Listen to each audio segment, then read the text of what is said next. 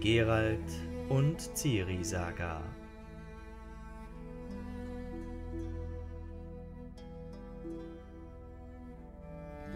Staffel 2 Folge 10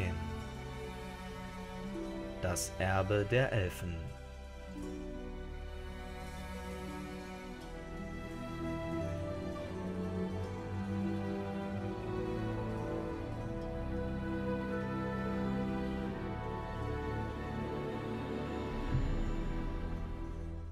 Niemand wird als Zauberer geboren. Wir wissen noch immer zu wenig über die Genetik und die Vererbungsmechanismen. Zu wenig Zeit und Mittel wenden wir für die Forschung auf. Versuche, magische Fähigkeiten auf dem Wege der Vererbung zu übermitteln, unternehmen wir leider immerzu auf sozusagen natürliche Art. Und die Ergebnisse dieser Pseudo-Experimente sieht man nur zu oft in den Rinnsteinen der Städte und an den Mauern der Tempel. Man sieht und trifft gar zu viele Schwachsinnige und Katatoniker, sabbernde und sich einmachende Propheten, Seher, Dorfwahrsager und Wundertäter, Cretins, deren Gehirne durch eine ererbte, aber nicht beherrschte Kraft degeneriert sind. Jene Debilen und Cretins können ebenfalls Nachkommen haben, können ihre Fähigkeiten vererben und weiter degenerieren. Ist jemand imstande vorherzusehen und zu bestimmen, wie das letzte Glied dieser Kette aussehen wird? Die meisten von uns Zauberern verlieren die Fortpflanzungsfähigkeit infolge somatischer Veränderungen und Funktionsstörungen der Hirnanhangsdrüse. Manche, und größtenteils Frauen, gelangen zur Magie und behalten dabei das Funktionsvermögen der Keimdrüsen. Sie können zeugen und gebären und haben die Stirn, das für ein Glück und einen Segen zu halten. Doch ich wiederhole, niemand wird als Zauberer geboren und niemand darf als Zauberer geboren werden. Im vollen Bewusstsein dessen, was ich schreibe, antworte ich auf die Frage, die auf der Zusammenkunft in Zidaris gestellt wurde. Jede von uns muss sich entscheiden, was sie sein will. Zauberin oder Mutter. Ich fordere, dass alle Adeptinnen sterilisiert werden, ohne jede Ausnahme. Tessaya de Vries die vergiftete Quelle.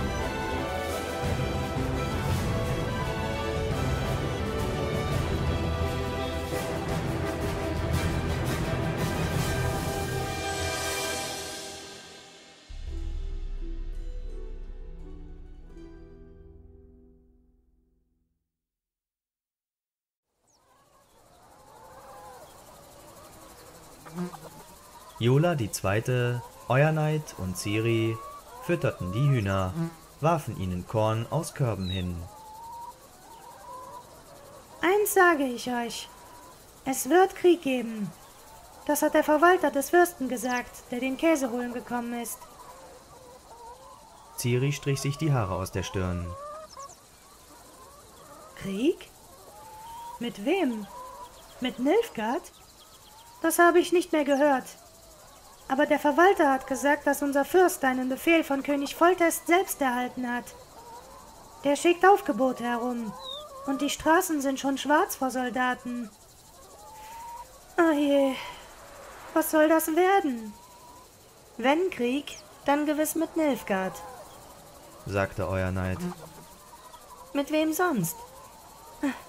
Wieder. Götter, ist das schrecklich. Ciri streute den Hühnern und Perlehühnern, die sich rings um sie in einem unruhigen, lauten Schwarm drängten, Korn hin. Übertreibst du nicht mit diesem Krieg, Iola? Vielleicht ist es wieder nur eine Treibjagd auf die Skoyatel. Dasselbe hat Mutter Nenneke den Verwalter gefragt. Aber der Verwalter hat gesagt nein. Diesmal geht es nicht um die Eichhörnchen. Die Schlösser und Kastelle sollen Befehl haben, Vorräte für den Fall einer Belagerung anzulegen. Und die Elfen machen ja Überfälle in den Wäldern. Sie belagern keine Schlösser. Der Verwalter hat gefragt, ob der Tempel mehr Käse und andere Dinge abgeben kann. Für die Vorräte in den Schlössern. Und er hat Gänsefedern verlangt. Es werden viele Gänsefedern gebraucht, hat er gesagt. Für die Pfeile. Zum Bogenschießen, versteht ihr? Oh Götter, wir werden viel zu tun bekommen. Arbeit bis über die Ohren. Nicht alle. Manche von uns werden sich nicht die Händchen schmutzig machen. Manche arbeiten nur zweimal in der Woche. Sie haben keine Zeit zur Arbeit, weil sie angeblich Zauberkunststückchen lernen. Aber in Wahrheit halten sie wahrscheinlich Maulaffenpfeil oder laufen durch den Park und köpfen mit einem Stock Blumen. Du weißt, von wem ich rede, Ciri, nicht wahr?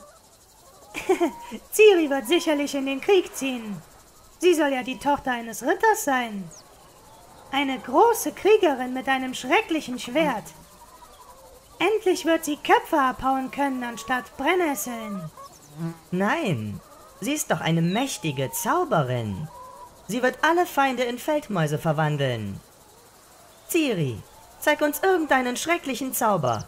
Mach dich unsichtbar oder lass die Mohrrüben früher wachsen. Oder mach etwas, damit die Hühner sich selber füttern. Komm schon, lass dich nicht bitten. Sag irgendeinen Zauberspruch. Magie ist nichts zum Vorführen.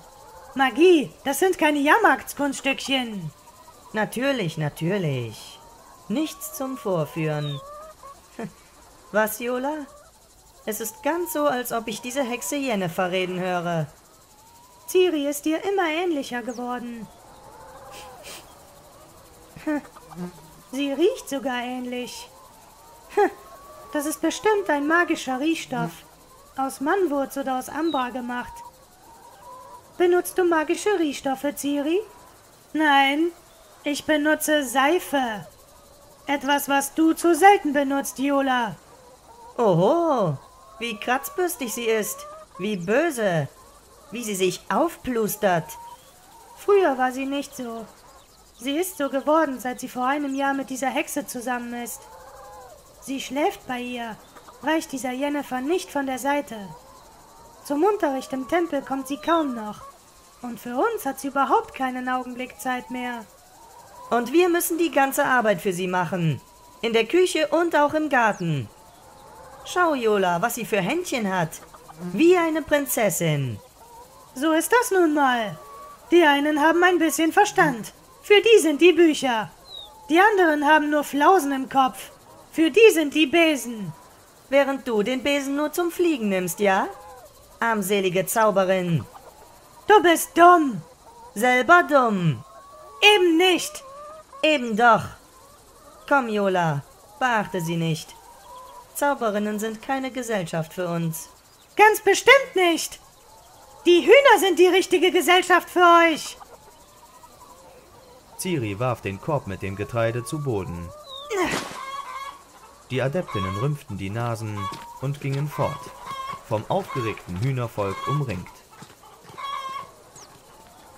Ciri fluchte laut, indem sie eine von Wesemirs liebsten Redensarten wiederholte, deren Bedeutung ihr nicht vollends klar war.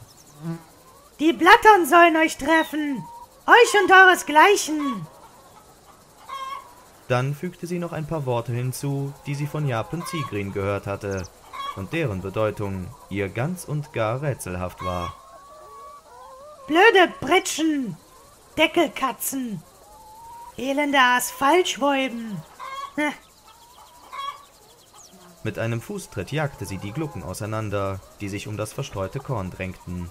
Weg mit euch! Sie hob den Korb auf, nahm ihn in beide Hände, worauf sie sich in einer Hexerpirouette drehte und den Korb wie einen Diskus über die Strohdächer der Hühnerstelle hinwegwarf. Sie machte auf dem Absatz kehrt und begann durch den Tempelpark zu laufen.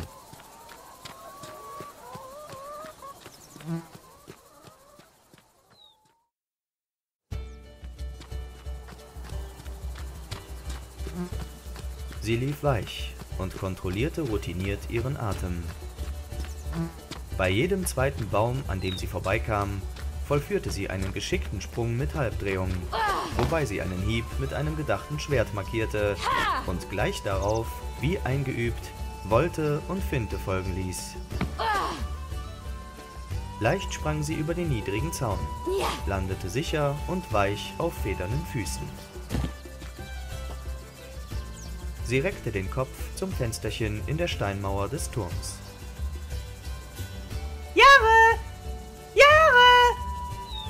Da? Hey, ich bin es! Der Bursche lehnte sich heraus. Siri? Was machst du hier? Kann ich zu dir hochkommen? Jetzt gleich? Ähm, ja doch. Bitte. Bitte sehr.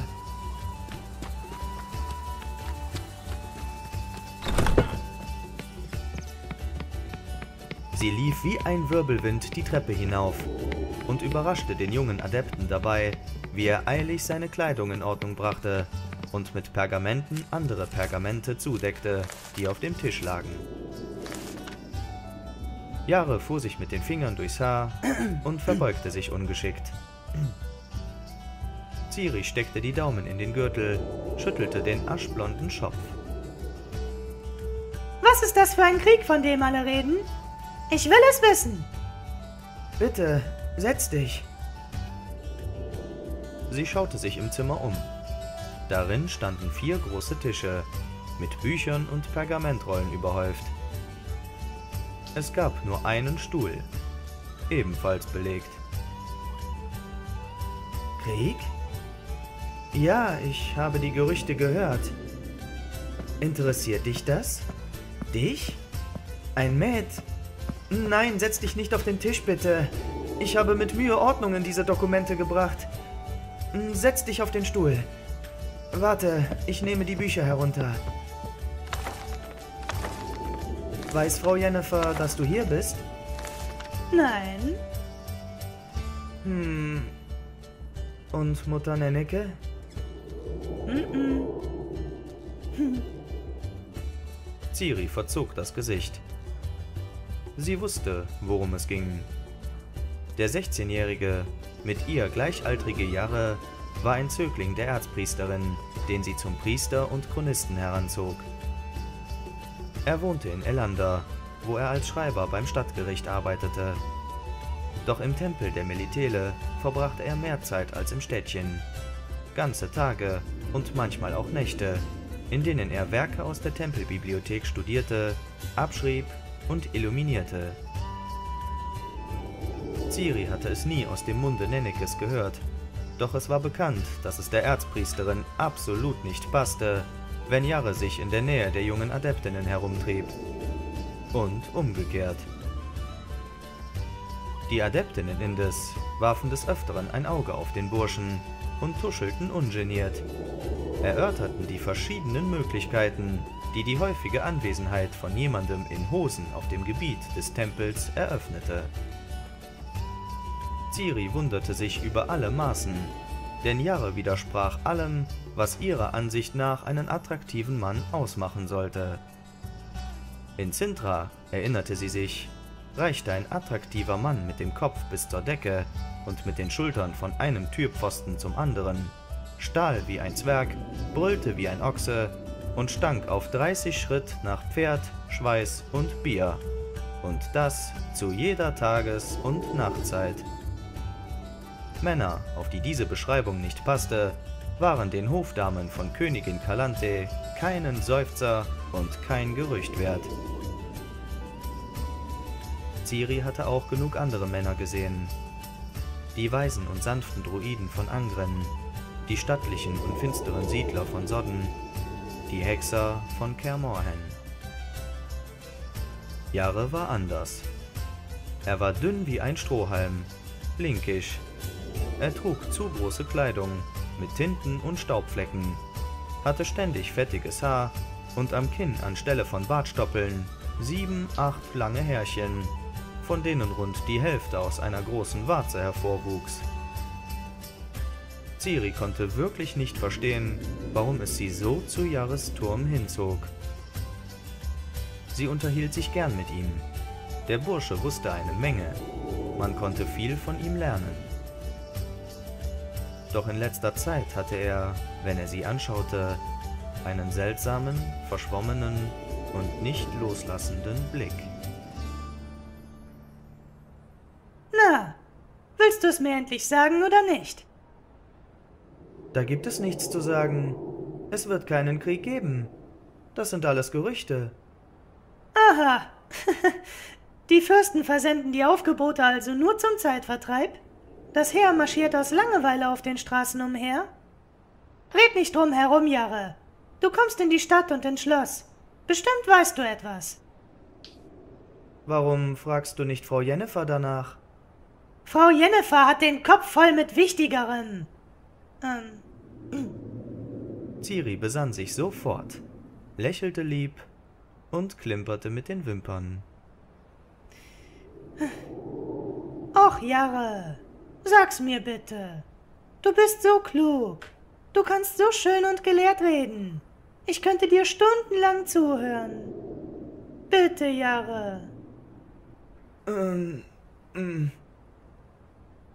Der junge Mann wurde rot. Sein Blick aber wurde noch weicher und nebelhafter. Ciri atmete heimlich auf. Was kann ich dir sagen? Freilich, die Leute in der Stadt reden alles Mögliche. Sie sind von den Vorgängen in Dol Angra beunruhigt. Aber Krieg wird es nicht geben. Ganz sicher. Du kannst mir glauben. Natürlich kann ich das. Aber ich wüsste gern, worauf sich deine Sicherheit gründet. Im fürstlichen Rat hast du, so viel ich weiß, keinen Sitz. Und wenn du gestern zum Statthalter ernannt worden bist, kannst du es ruhig sagen. Dann beglückwünsche ich dich. Ich studiere historische Abhandlungen, und daraus kann man mehr erfahren, als wenn man im fürstlichen Rate säße. Ich habe die von Marschall Pelligram verfasste Geschichte der Kriege gelesen, die Strategie von Herzog der Reuter, die Vorzüge der redanischen Ulanen von Brunibor. Und in der gegenwärtigen politischen Lage kenne ich mich weit genug aus, um Analogieschlüsse ziehen zu können. Weißt du, was eine Analogie ist? Klar. Ciri schwindelte, während sie einen Grashalm aus der Schuhschnalle klaubte.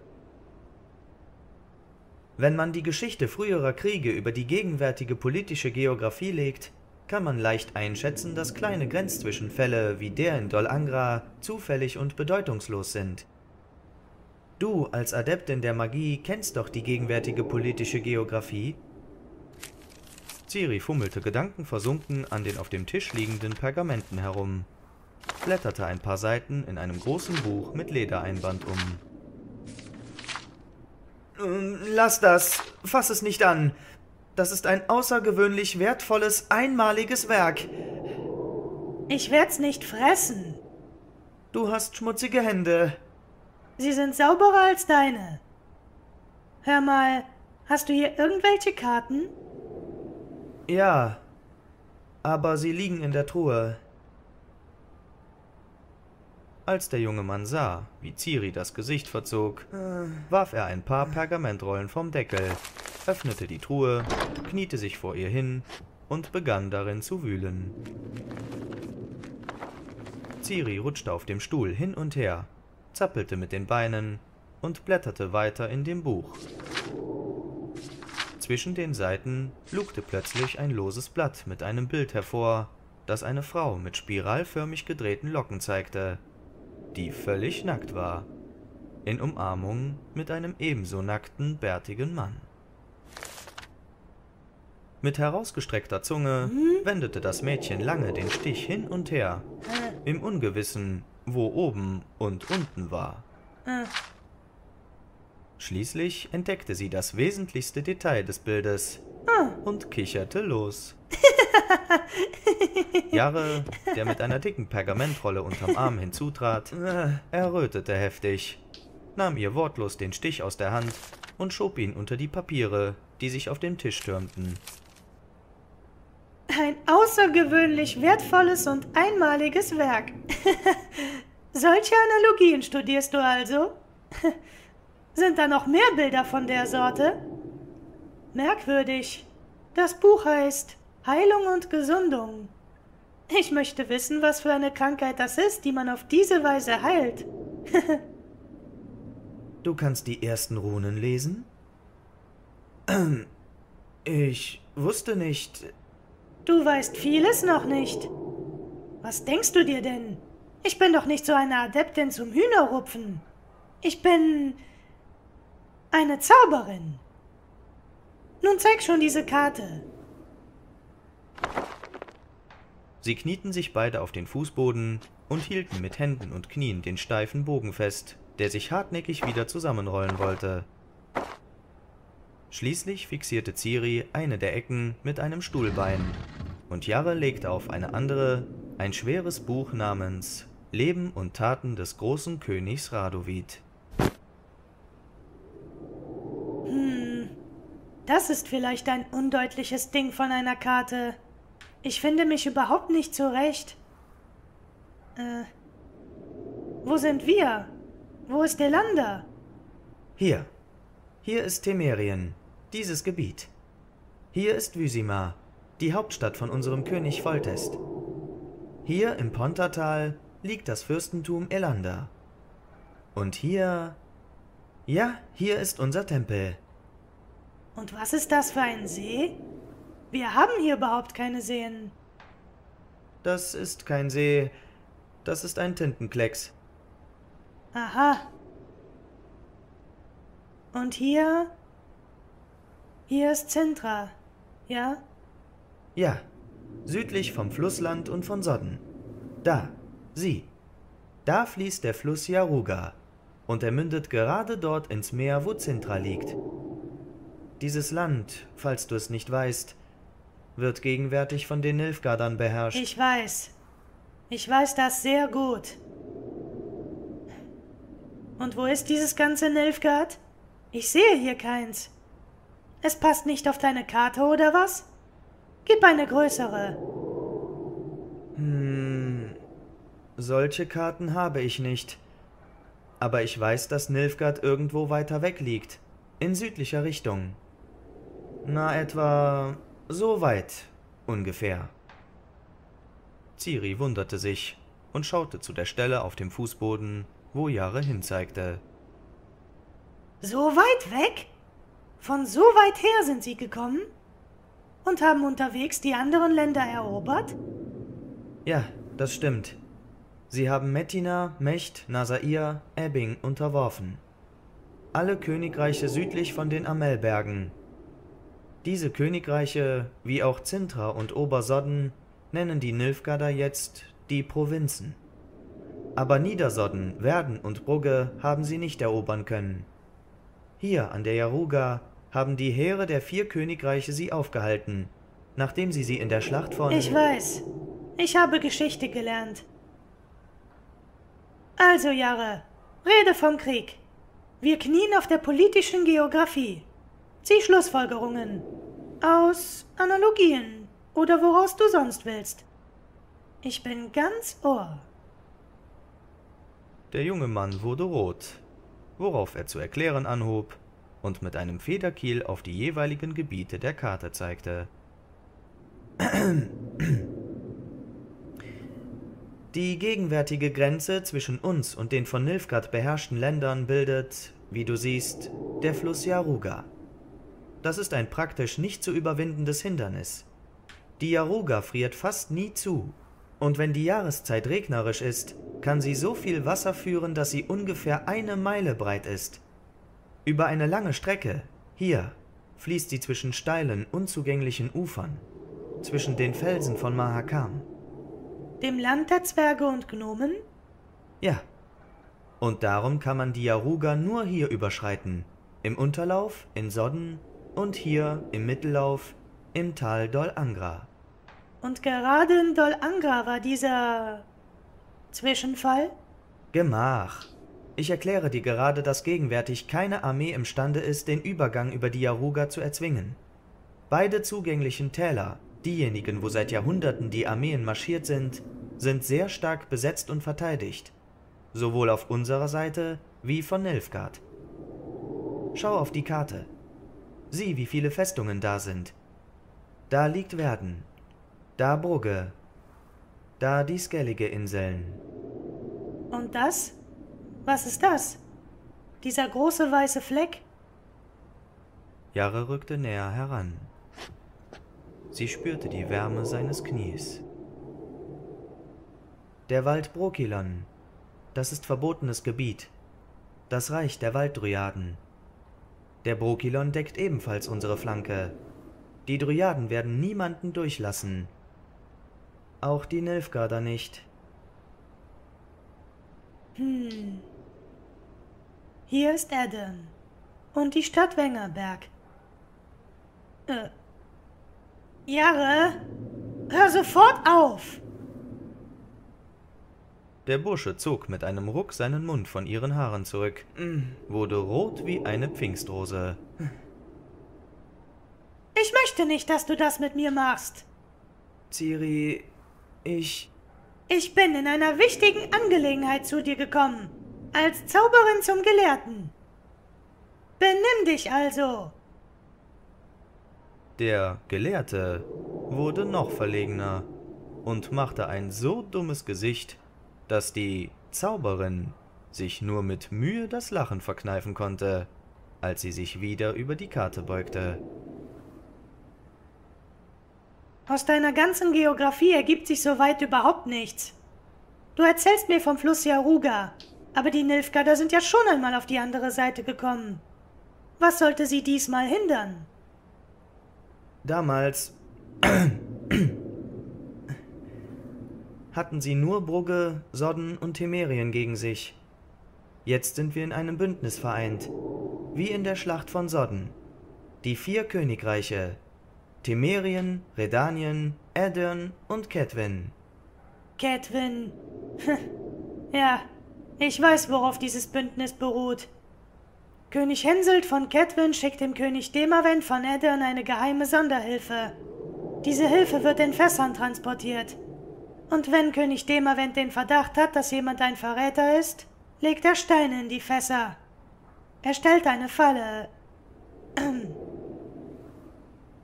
Sie verstummte, als ihr einfiel, dass Gerald ihr verboten hatte, über die Ereignisse in Kedwin von vor zwei Jahren zu sprechen. Jahre betrachtete sie misstrauisch.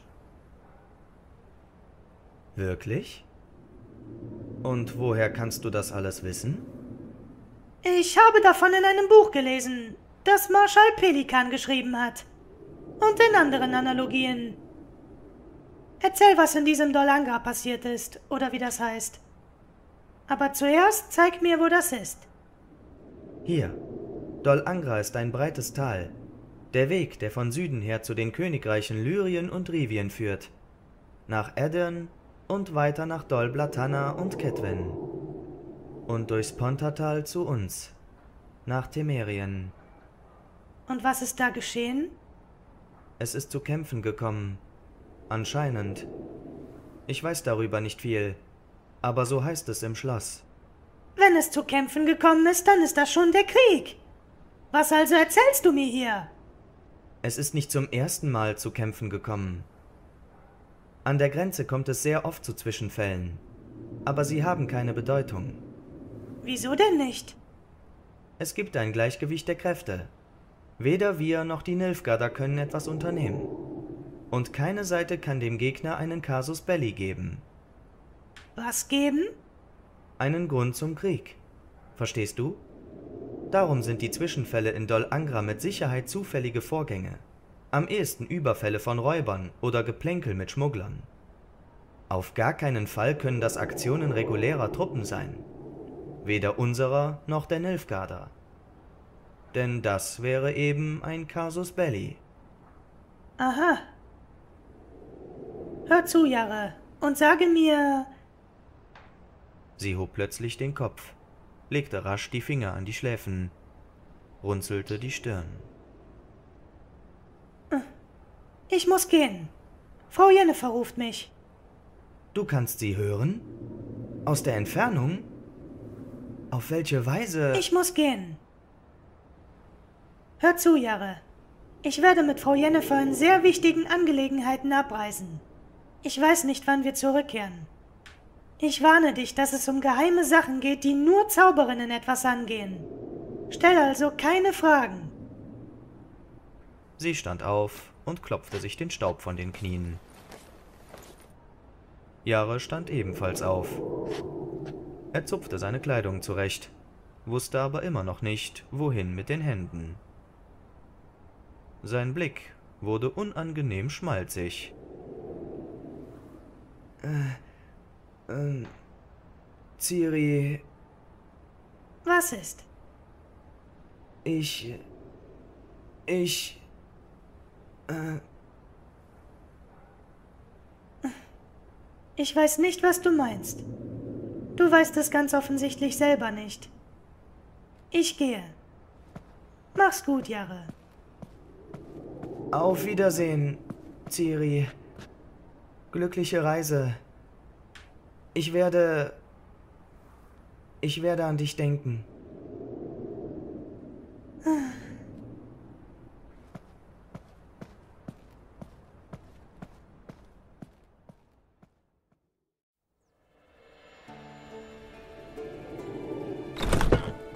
Bin ich, Frau Jennifer. Sie stürmte ins Zimmer wie vom Katapult geschossen. Ein im Wege stehender Schemel drohte ihr die Beine zu brechen, doch Ciri übersprang ihn geschickt, führte eine graziöse Halbpirouette und einen angedeuteten Schwertstreich aus, lächelte freudig über das gelungene Kunststück. Trotz des schnellen Laufs ging ihr Atem gleichmäßig und ruhig. Die Atemkontrolle beherrschte sie schon mit Perfektion. Da bin ich. Endlich. Zieh dich aus und ab in den Zuber. Ein bisschen plötzlich. Die Zauberin blickte sich nicht um, drehte sich nicht vom Tisch weg, vor dem sie saß. Sie betrachtete Ciri im Spiegel. Mit langsamen Bewegungen kämmte sie ihre feuchten schwarzen Locken, die sich unter dem Zug des Kammes glätteten, nur um sich gleich wieder zu schimmernden Wellen zu kräuseln. Das Mädchen löste blitzschnell die Schuhschnallen, warf Schuhe und Kleidung ab und landete mit einem Platschen im Badezuber. Sie griff nach der Seife und begann sich energisch die Unterarme einzuseifen. Jennifer saß reglos da, schaute zum Fenster hinaus, spielte mit dem Kamm. Ciri pustete, blubberte und spuckte, denn ihr war Seife in den Mund gekommen. Sie schüttelte den Kopf und fragte sich, ob es wohl einen Zauberspruch gäbe, der es erlaubte, sich ohne Wasser, Seife und Zeitverschwendung zu waschen. Die Zauberin legte den Kamm weg, blickte aber immer noch gedankenversunken zum Fenster hinaus, auf die Schwärme von Raben und Krähen, die inmitten von durchdringendem Gekrächze gen Osten flogen.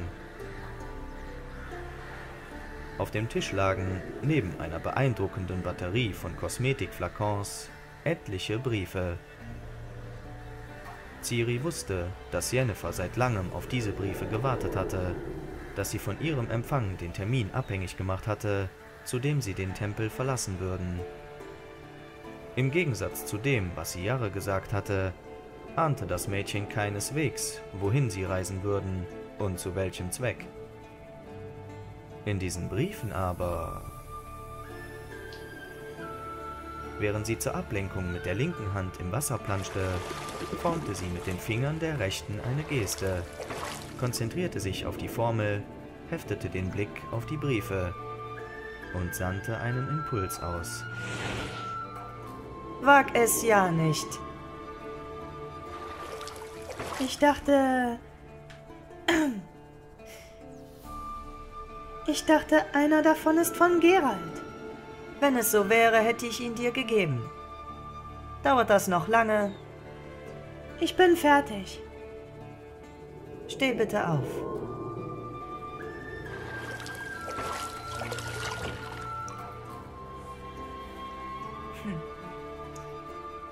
Ja, die Kindheit hast du schon hinter dir. Du bist an den richtigen Stellen rund geworden. Nimm die Hände runter. Deine Ellenbogen interessieren mich nicht. Na, na, ohne Ziererei, ohne falsche Scham. Das ist dein Körper, die natürlichste Sache auf der Welt. Dass du reifer wirst, ist ebenso natürlich. Wenn sich dein Schicksal anders gefügt hätte, wärst du schon längst die Frau irgendeines Fürsten oder Königssohns. Das ist dir doch klar, nicht wahr? Nachdem wir über Fragen, die das Geschlecht betreffen, ziemlich oft und exakt gesprochen haben, musst du wissen, dass du schon eine Frau bist. Physiologisch versteht sich. Du hast doch nicht vergessen, worüber wir gesprochen haben? Nein, ich habe es nicht vergessen. Während der Besuche bei Jahre, hoffe ich, hast du auch keine Probleme mit dem Gedächtnis? Äh. Trockne dich ab und komm zu mir her. Verspritz bitte kein Wasser.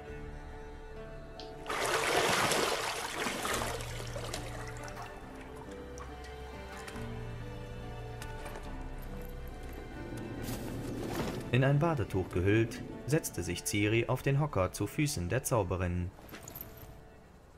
Jennifer kämmte ihr die Haare, schnitt von Zeit zu Zeit mit der Schere ein kleines, widerspenstiges Knäuel ab. Bist du mir böse, weil ich im Turm war? Nein, aber Nenneke mag das nicht. Das weißt du. Aber ich habe nichts. Dieser Jahre kümmert mich überhaupt nicht. Ich habe nur. Eben. Du hast nur.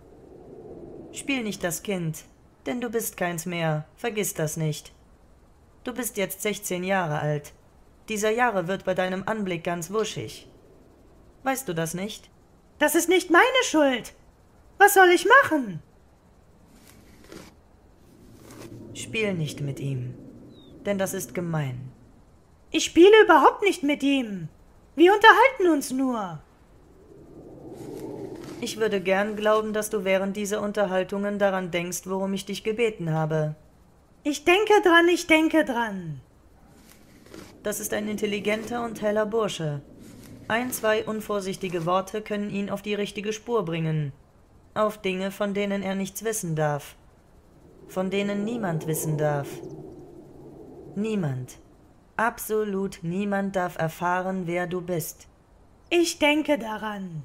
Ich habe keinem ein Sterbenswörtchen gesagt. Da kannst du sicher sein. Sag mir, müssen wir deswegen so plötzlich abreisen? Hast du Angst, jemand könnte erfahren, dass ich hier bin? Ist es darum? Nein, aus anderen Gründen. Oder weil es Krieg geben kann? Alle reden von einem neuen Krieg. Alle reden davon, Frau Jennifer. Gewiss. Dieses Thema gehört zu den sogenannten Ewigen. Man hat vom Krieg geredet, redet davon und wird davon reden.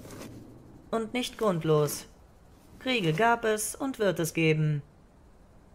Nimm den Kopf nach vorn. Jarre hat gesagt, dass es keinen Krieg mit Nilfgaard geben wird. Er hat von irgendwelchen Analogien geredet, hat mir eine Karte gezeigt. Ich weiß selber nicht, was ich davon halten soll. Ich weiß nicht, was das für Analogien sind. Das ist bestimmt etwas schrecklich Kluges. Jarre liest alle möglichen Gelehrtenbücher und gibt an. Aber ich denke. Ich bin neugierig, was du denkst, Ciri. In Sintra. Damals. Frau Jennifer, meine Großmutter war viel klüger als Jarre. König Heist war auch klug. Er war zur See gefahren, hatte alles gesehen, sogar den Narwal und die Seeschlange. Bestimmt auch Analogien genug. Und plötzlich kamen sie. Die Nilfgaarder. Jennifer umarmte sie, drückte sie fest an sich. Leider. Leider hast du recht, hässliches Oldchen. Wenn die Fähigkeit, aus Erfahrung zu lernen und Schlüsse zu ziehen, entscheidend wäre, wüssten wir schon längst nicht mehr, was Kriege sind. Aber diejenigen, die es zum Krieg drängt, haben sich nie von Erfahrungen oder Analogien aufhalten lassen. Aber dann.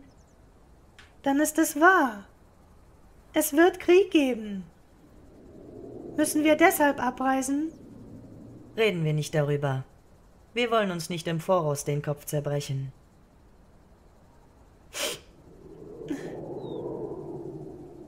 Ich habe schon Krieg gesehen. Ich will keinen mehr sehen.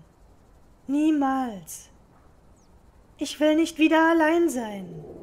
Ich will keine Angst haben.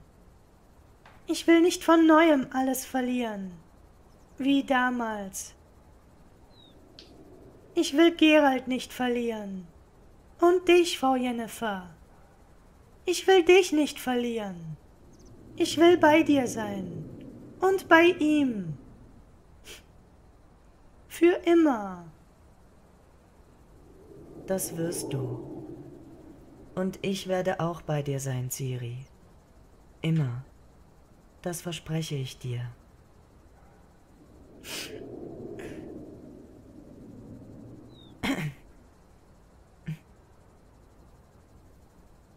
Jennifer legte Kamm und Schere weg, stand auf, ging zum Fenster.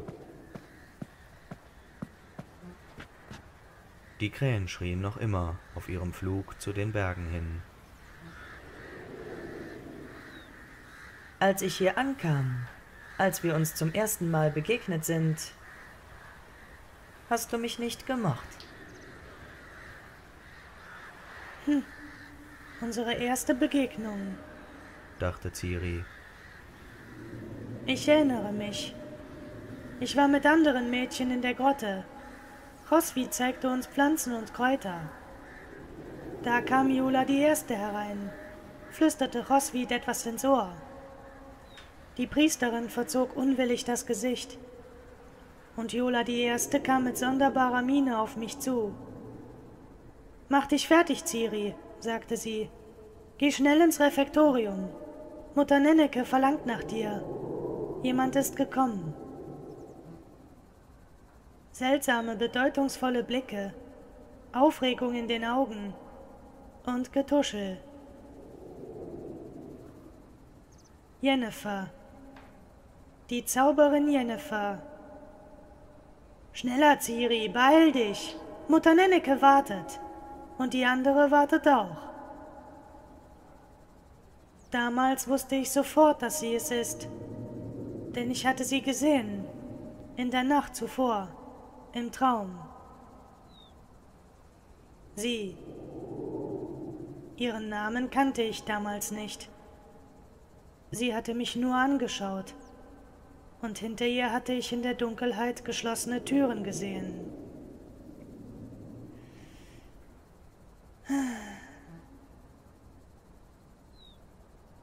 Jennifer wandte sich zu ihr. Der Obsidianstern an ihrem Hals funkelte mit tausend Lichtreflexen. Das Mädchen schaute der Zauberin direkt in die veilchenblauen Augen. Hm. Du hast recht. Ich habe dich nicht gemocht.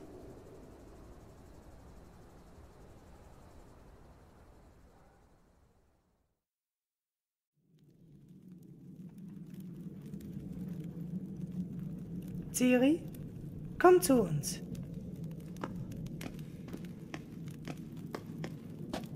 Das ist Frau Jennifer von Wengerberg, Meisterin der Magie. Hab keine Angst. Frau Jennifer weiß, wer du bist. Du kannst ihr vertrauen. Das Mädchen verbeugte sich, die Hände zu einer ehrerbietigen Geste zusammengelegt. Mit dem langen schwarzen Kleid raschelnd trat die Zauberin an sie heran, fasste ihr unters Kinn, hob ihr ziemlich ungeniert den Kopf an, drehte ihn nach links, nach rechts. Ciri empfand Zorn und aufkommenden Widerwillen. Sie war es nicht gewohnt, auf solche Weise behandelt zu werden, und zugleich fühlte sie brennenden Neid. Jennifer war sehr schön. Im Vergleich zu der feinen, blassen und recht gewöhnlichen Schönheit der Priesterinnen und Adeptinnen verströmte die Zauberin eine bewusste, geradezu demonstrative Schönheit, von ihr selbst akzeptiert und mit jeder Einzelheit betont.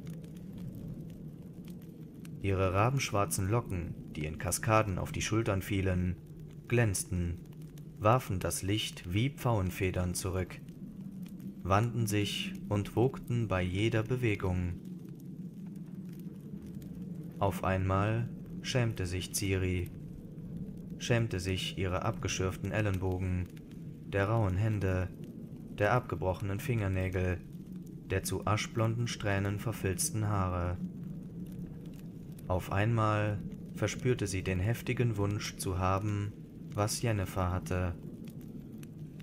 Einen schönen, bis weit hinab freien Hals und darauf ein hübsches schwarzes Samtband mit einem hübschen funkelnden Stern. Gleichmäßige, mit Kohle hervorgehobene Brauen und lange Wimpern. Einen stolzen Mund. Und diese beiden Rundungen, die sich bei jedem Atemzug hoben von schwarzem Tuch und weißer Spitze umhüllt. Das ist also das berühmte Überraschungskind. Schau mir doch in die Augen, Mädchen. Ciri zuckte zusammen und zog den Kopf ein. Nein, darum beneidete sie Jennifer nicht.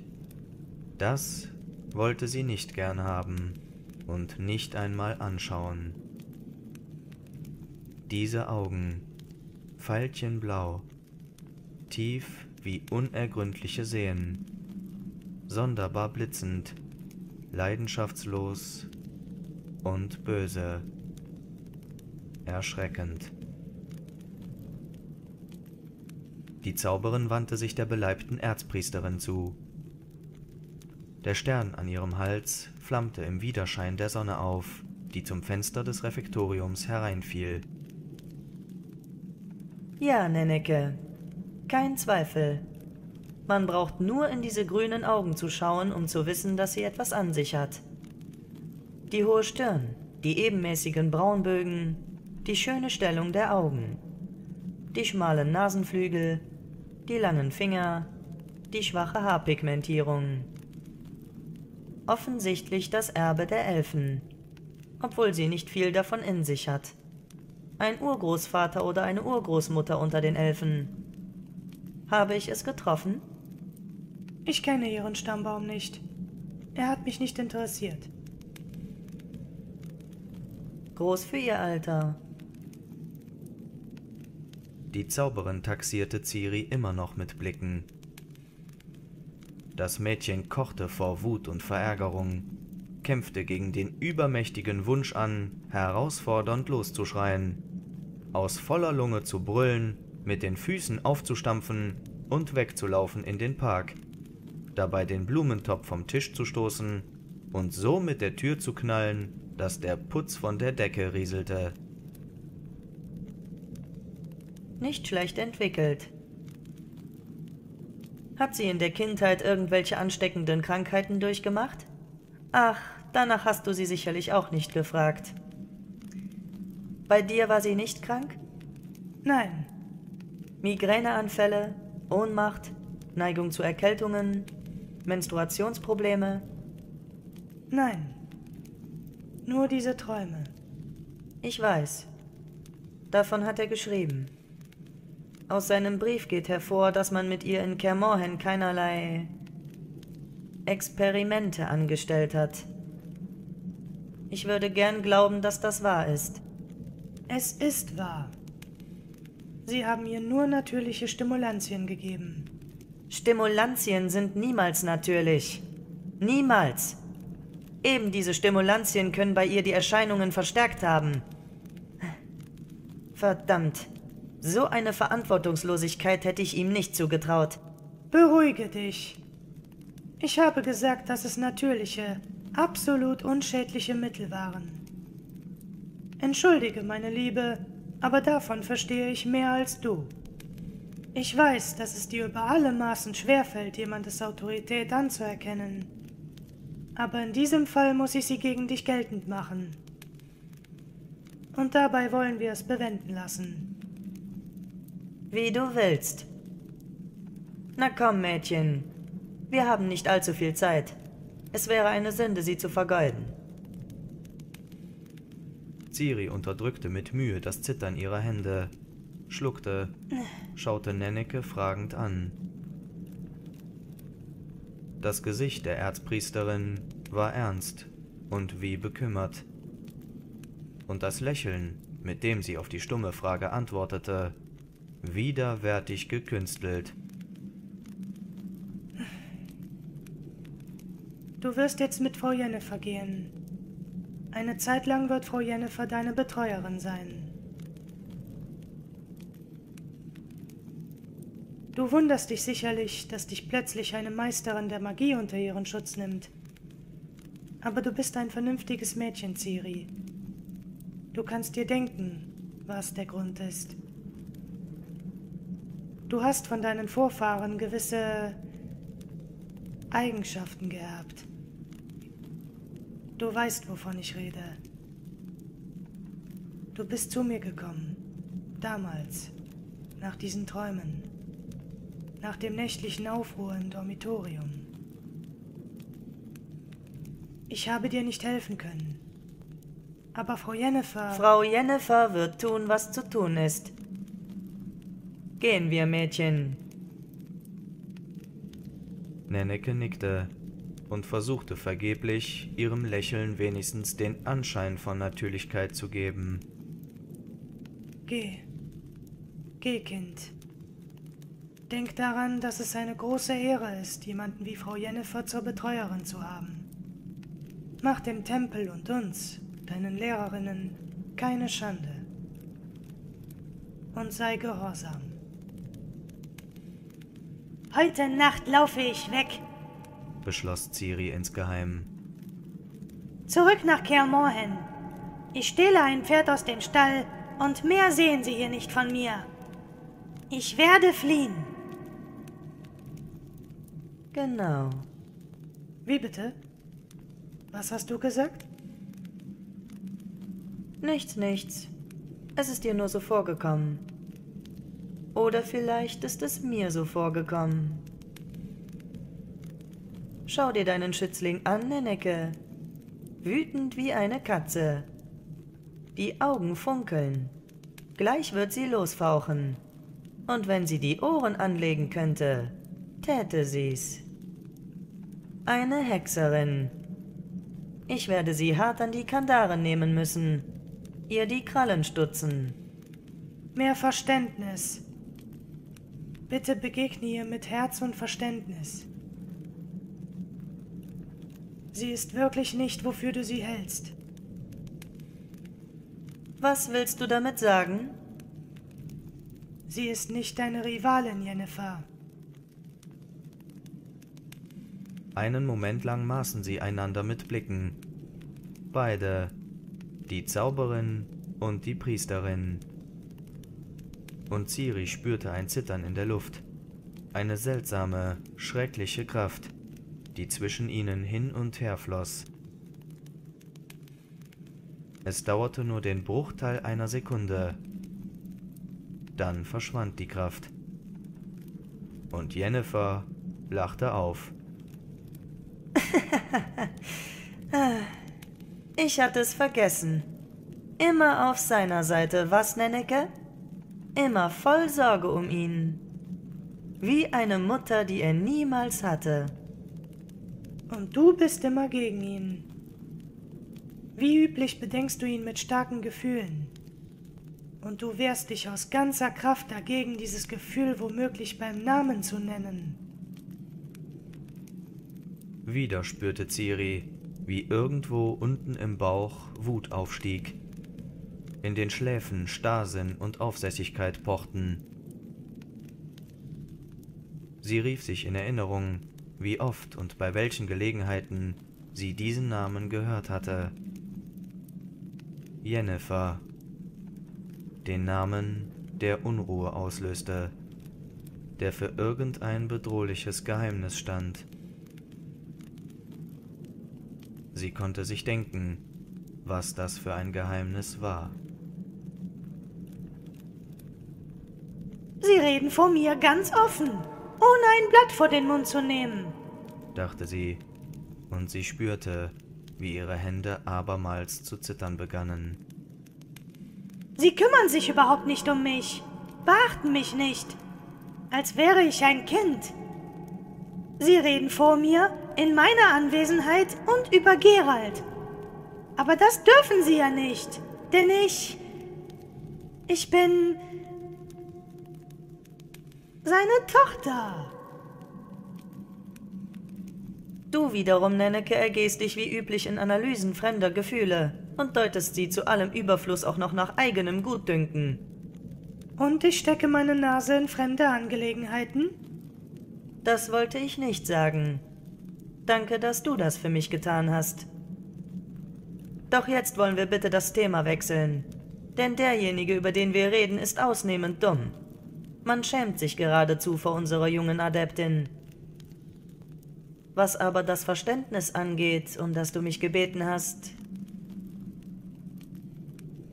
ich werde verständnisvoll sein. Mit dem Herzen könnte es Schwierigkeiten geben, denn es wird allgemein angenommen, dass ich kein solches Organ besitze. Aber wir werden irgendwie zurechtkommen. Nicht wahr, Überraschungskind? Jennifer lächelte Ciri zu, und gegen ihren Willen, der Wut und Gereiztheit zum Trotz, musste Ciri das Lächeln erwidern. Denn das Lächeln der Zauberin war unerwartet nett wohlwollend, herzlich und sehr, sehr schön.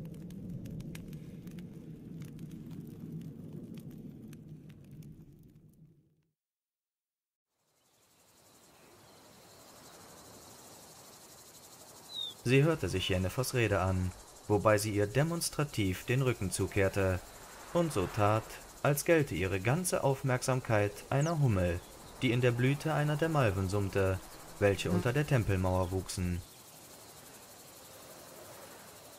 Es hat mich niemand gefragt. Wonach hat dich niemand gefragt? Ciri wirbelte in einer Halbpirouette herum, hieb wütend mit der Faust nach der Malve.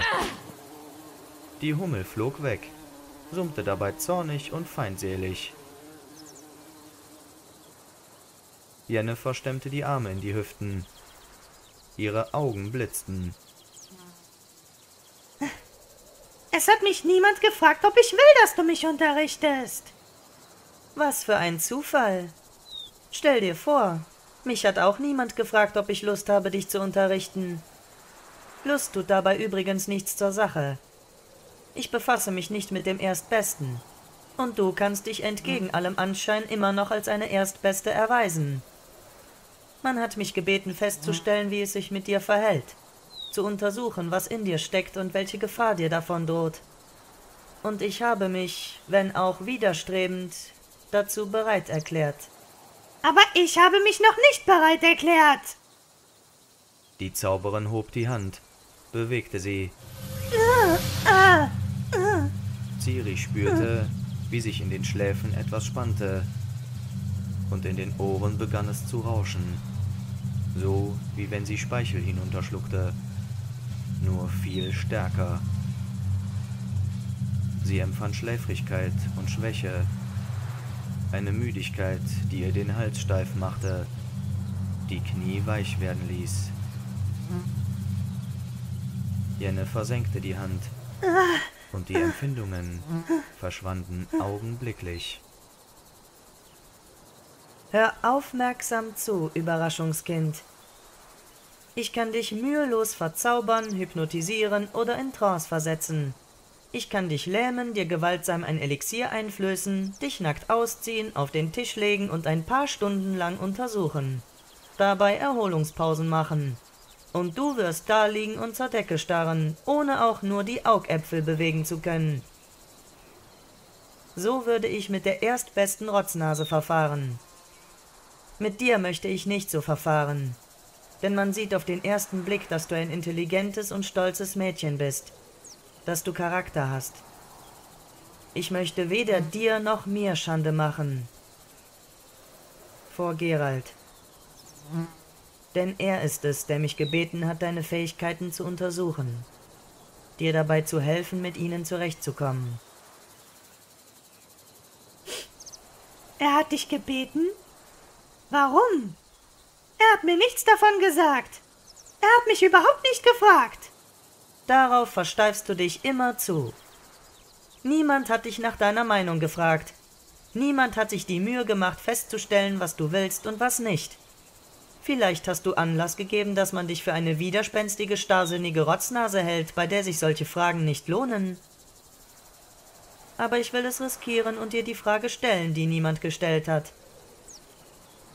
Wirst du dich den Tests unterwerfen? Und was ist das? Was sind das für Tests? Und warum? Ich habe es dir schon erklärt.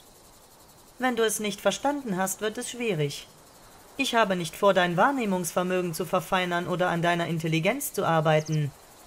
Testen kann ich eine kluge ebenso gut wie eine dumme. Ich bin nicht dumm. Ich habe alles verstanden. Umso besser. Aber ich eigne mich nicht zur Zauberin. Ich habe überhaupt keine Fähigkeiten. Ich werde niemals eine Zauberin und will auch keine sein. Ich bin Gerald. Ich bin zur Hexerin vorher bestimmt. Hierher bin ich nur übergangsweise gekommen. Ich werde bald nach Kermorhen zurückkehren. Du starrst immerzu auf mein Dekolleté. Siehst du dort etwas Unerwartetes? Oder bist du einfach nur neidisch? Dieser Stern. Woraus ist der? Diese Steinchen bewegen sich und leuchten so seltsam. Hm. Sie pulsieren. Das sind aktive Brillanten, in Obsidian eingelassen. Willst du sie aus der Nähe sehen? Anfassen? Ja. Oh nein, ich will nicht. Was soll mir das? Es interessiert mich nicht. Ganz und gar nicht. Ich bin eine Hexerin. Ich habe überhaupt keine magischen Fähigkeiten. Zur Zauberin eigne ich mich nicht. Das ist doch wohl klar. Denn ich bin. Und überhaupt. Die Zauberin setzte sich auf die an der Wand stehende kleine steinerne Bank und widmete sich der Betrachtung ihrer Fingernägel. Und überhaupt muss ich es mir überlegen. Komm her. Setz dich zu mir. Hm.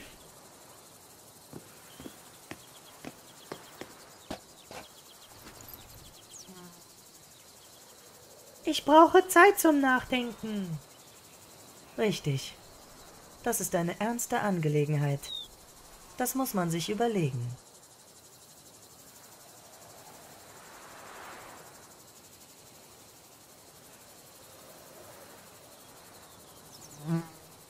Und? Was und? Hast du es dir überlegt? Ah! Ciri sprang auf. Ah! Ja! Ich, ich. Machst du dich über mich lustig? Ich brauche Zeit. Ich muss es mir überlegen. Länger. Den ganzen Tag lang. Und die Nacht. Jennifer schaute ihr in die Augen, und Ciri zog sich unter diesem Blick zusammen.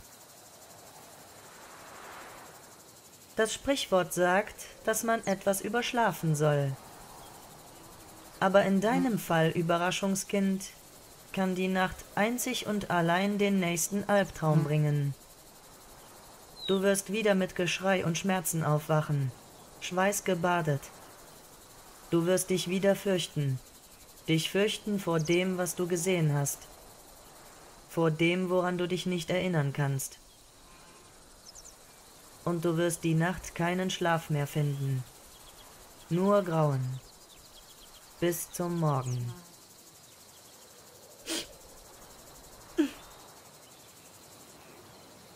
Überraschungskind, vertrau mir.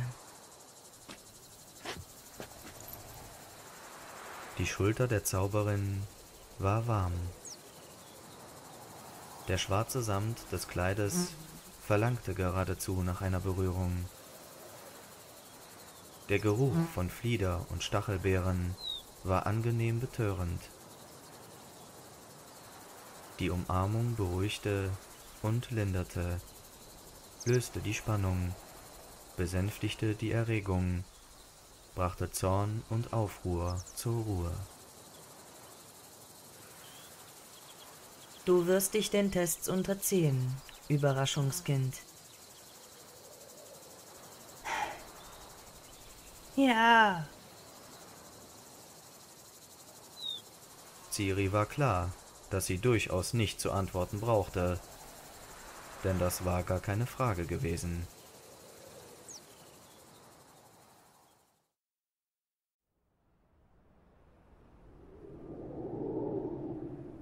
Ich verstehe überhaupt nichts mehr.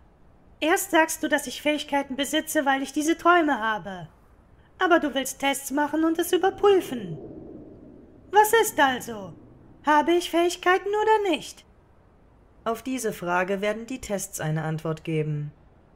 Die Tests, die Tests. Ich habe keine Fähigkeiten, sag ich dir. Wenn ich welche hätte, dann wüsste ich es doch wohl, oder? Na, aber.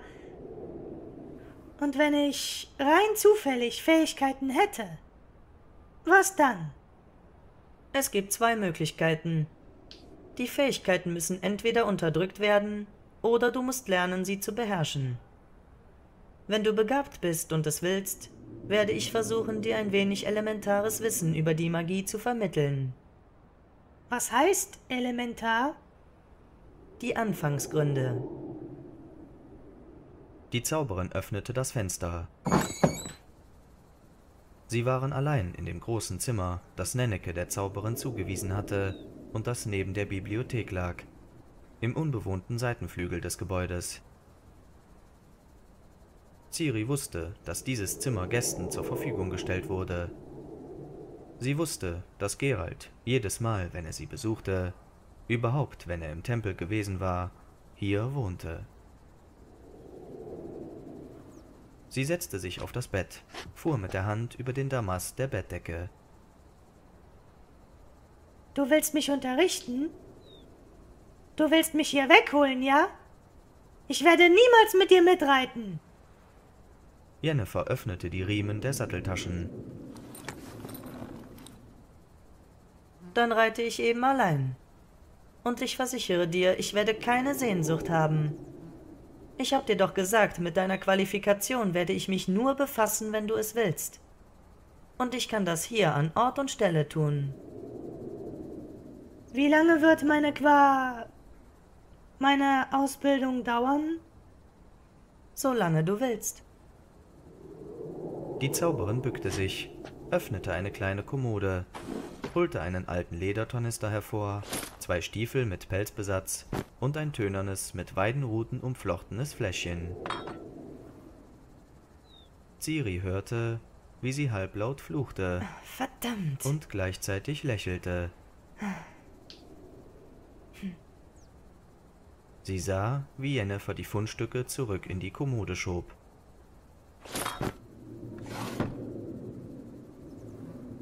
Ciri wusste, wem sie gehörten, wer sie hier zurückgelassen hatte. Was heißt, solange ich will? Wenn mich deine Lehre langweilt oder mir nicht gefällt, Dann hörst du damit auf. Du brauchst es mir nur zu sagen. Oder zu erweisen. erweisen? Wie? Falls wir uns für die Ausbildung entscheiden, werde ich absoluten Gehorsam verlangen. Ich wiederhole, absoluten. Wenn dir also der Unterricht leid wird, genügt es, wenn du mir Ungehorsam erweist. Dann hört die Ausbildung sofort auf. Klar? Hm, Jennifer packte die Satteltaschen aus. Zweitens werde ich absolute Ehrlichkeit verlangen. Du wirst nichts vor mir verheimlichen dürfen. Nichts. Wenn du also merkst, dass du genug hast, brauchst du nur zu lügen, mir etwas vorzumachen oder zu verheimlichen. Wenn ich dich nach etwas frage und du nicht ehrlich antwortest, bedeutet das ebenfalls das unverzügliche Ende der Ausbildung. Hast du mich verstanden? ja. Und diese Ehrlichkeit, gilt die für beide Seiten? Werde ich dir Fragen stellen können? Natürlich. Das versteht sich von selbst. Darauf beruhen die Ausbildung und die Betreuung, die ich dir zuteil werden lassen will. Die Ehrlichkeit gilt für beide Seiten. Du kannst mir Fragen stellen. Jederzeit. Und ich werde sie beantworten. Ehrlich. Jede Frage? Jede. Von diesem Augenblick an? Ja. Von diesem Augenblick an. Was ist zwischen dir und Gerald, Frau Jennifer? Ciri wurde beinahe ohnmächtig, frappiert von der eigenen Dreistigkeit, erstarrt von der Stille, die sich nach der Frage herabsenkte. Die Zauberin kam langsam auf sie zu, legte ihr die Hände auf die Schultern, schaute ihr tief in die Augen. Sehnsucht. Trauer, Hoffnung und Furcht. Ja, anscheinend habe ich nichts ausgelassen. Und nun können wir mit den Tests beginnen, du kleine grünäugige Schlange. Wir werden feststellen, ob du dich eignest. Obwohl ich mich nach deiner Frage sehr wundern würde, wenn sich herausstellte, dass du ungeeignet bist. Gehen wir, Eulchen. Warum nennst du mich so? Um Jennifers Mundwinkel spielte ein Lächeln. Weil ich dir Ehrlichkeit versprochen habe.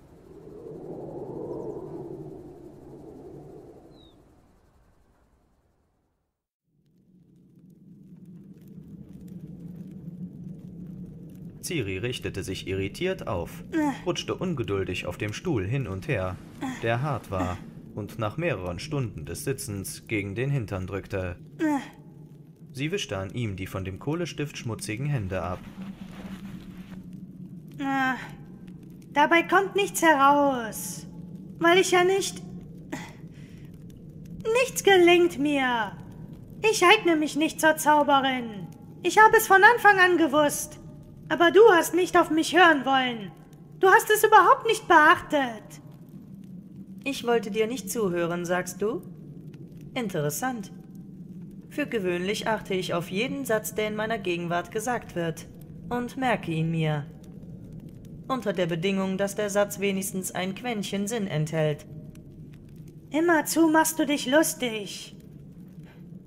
Aber ich wollte dir nur sagen, na, wegen dieser Fähigkeiten. Denn weißt du, dort in Kermorhen, in den Bergen, ich habe kein einziges Hexerzeichen zustande gebracht. Kein einziges. Das weiß ich. Du weißt? Ja, aber das hat nichts zu besagen. Wieso? Nun, aber das ist noch nicht alles. Ich bin ganz Ohr. Ich eigne mich nicht. Verstehst du das? Ich bin zu jung. Ich war jünger, als ich begonnen habe. Aber bestimmt warst du nicht. Worum geht es dir, Mädchen? Hör auf zu stottern. Wenigstens einen vollständigen Satz, bitte sehr. Weil. Weil Jola, Myrrhe, Euerneid und Katje, als wir beim Essen waren, sich über mich lustig gemacht und gesagt haben, dass Zauber nicht an mich herankommt und ich keinerlei Magie machen kann, weil. weil ich. Eine Jungfrau bin. Das heißt. Stell dir vor, ich weiß, was das heißt. Du wirst das sicherlich wieder für bösartigen Spott halten, aber ich muss dir leider mitteilen, dass du Unsinn redest. Machen wir mit dem Test weiter. Ich bin eine Jungfrau. Was sollen diese Tests? Eine Jungfrau kann nicht zaubern. Ich sehe keinen Ausweg. Also geh und verliere die Jungfräulichkeit, wenn sie dich so sehr stört. Ich warte inzwischen. Aber beeil dich, wenn du kannst. Machst du dich über mich lustig? Du hast es bemerkt? Ich gratuliere. Du hast den Eingangstest auf rasche Auffassungsgabe bestanden. Und jetzt der eigentliche Test. Schärfe bitte deine Aufmerksamkeit. Schau. Auf diesem Bild sind vier kleine Kiefern. Jede hat eine andere Anzahl Äste. Mal die fünfte so, dass sie zu diesen vier passt. So wie sie an diese leere Stelle gehört. Kiefern sind dumm. Und langweilig. Mit herausgestreckter Zunge malte Ciri ein etwas schiefes Bäumchen. Die Zauberin nahm den Bogen und betrachtete kritisch die Zeichnung. Ich verstehe nicht, was haben Kiefern mit Magie zu tun? Was? Frau Jennifer, du hast versprochen, auf meine Fragen zu antworten. Leider. Mir scheint, dass ich dieses Versprechen noch bereuen werde. Was Kiefern mit Magie zu tun haben? Nichts. Aber du hast richtig gezeichnet und schnell genug. Wirklich. Für ein Mädchen sehr gut. Lachst du über mich? Nein, ich lache selten. Ich brauche einen wirklich wesentlichen Grund, um zu lachen. Konzentriere dich auf das neue Blatt, Überraschungskind. Da sind Reihen gezeichnet, die aus Sternen, Ringen, Kreuzchen und Dreiecken bestehen. In jeder Reihe gibt es von jedem Element eine andere Anzahl. Überleg und sag mir, wie viele Sterne müssen in der letzten Reihe sein? Sterne sind dumm. Wie viele Mädchen? Drei.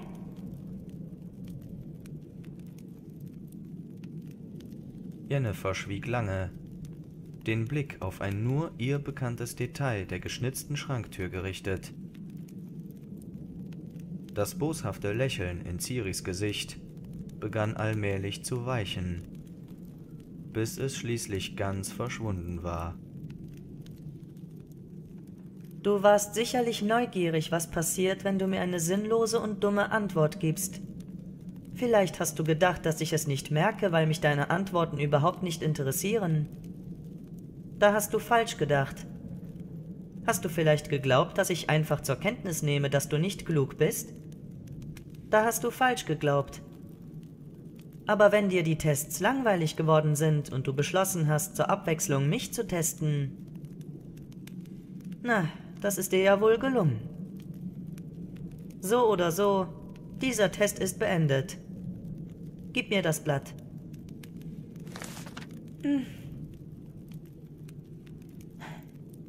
Entschuldige, Frau Jennifer.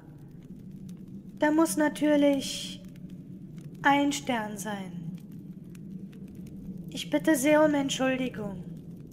Bitte sei mir nicht böse. Schau mich an, Ciri. Das Mädchen hob überrascht den Blick, denn die Zauberin hatte sie zum ersten Mal mit ihrem Namen angesprochen. Ciri, du musst wissen, dass ich entgegen dem Anschein ebenso selten böse bin, wie ich lache. Ich bin dir nicht böse. Und mit deiner Entschuldigung hast du bewiesen, dass ich mich in dir nicht getäuscht habe. Und jetzt nimm das nächste Blatt. Wie du siehst, sind darauf fünf Häuschen. Male das sechste Häuschen. Wieder? Ich verstehe wirklich nicht, wozu. Das sechste Häuschen. Hier, an der freien Stelle. Lass es mich nicht noch einmal sagen, bitte.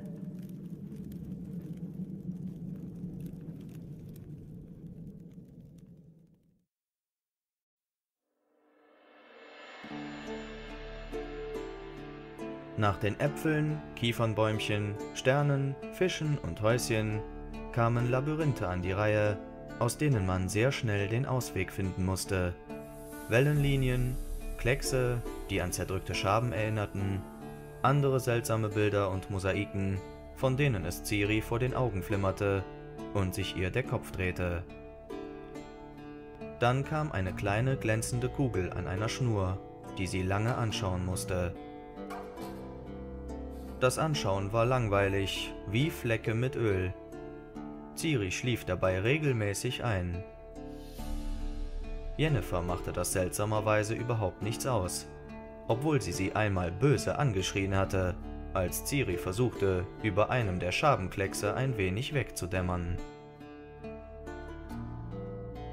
Vom gebeugten Sitzen über den Tests bekam sie Schmerzen im Genick und im Rücken, und das von Tag zu Tag heftiger. Sie sehnte sich nach Bewegung und frischer Luft und sagte das, da sie sich ja zur Ehrlichkeit verpflichtet hatte, sogleich Jennifer. Die Zauberin nahm es so glatt hin, als habe sie schon lange darauf gewartet. Zwei Tage lang liefen die beiden durch den Park, sprangen unter den belustigten oder mitleidigen Blicken der Priesterinnen und Adeptinnen über Gräben und Zäune. Sie machten Gymnastik, übten die Balance, indem sie auf der Krone der kleinen Mauer entlang gingen, die den Garten und die Wirtschaftsgebäude umgab. Im Gegensatz zu dem Training in Kermorhen gingen die Übungen mit Jennifer jedoch stets mit Theorie einher. Die Zauberin lehrte Ciri richtiges Atmen, indem sie die Bewegungen von Brust und Zwerchfell mit einem starken Händedruck steuerte. Sie erklärte die Prinzipien der Bewegung, die Funktion von Muskeln und Knochen. Sie führte vor, wie man sich erholt, sich entspannt und abschaltet.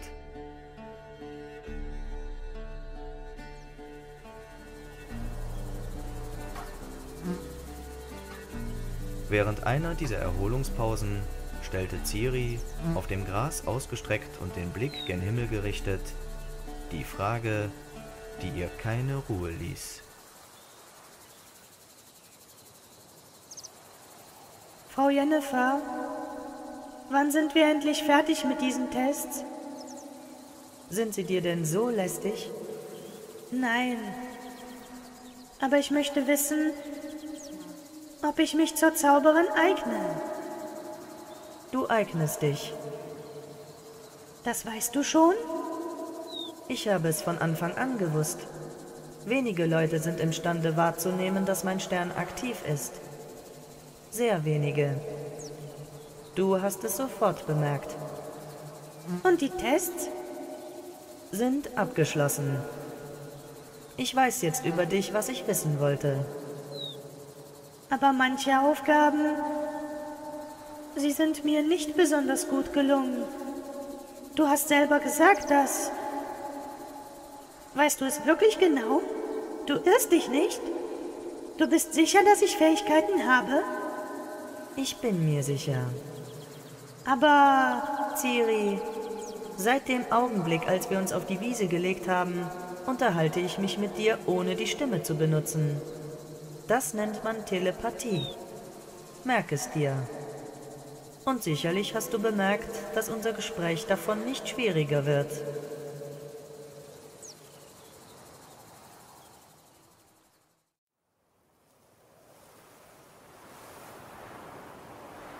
Den Blick zum Himmel über den Bergen gerichtet, legte Jennifer die Hand auf den Sattelknauf.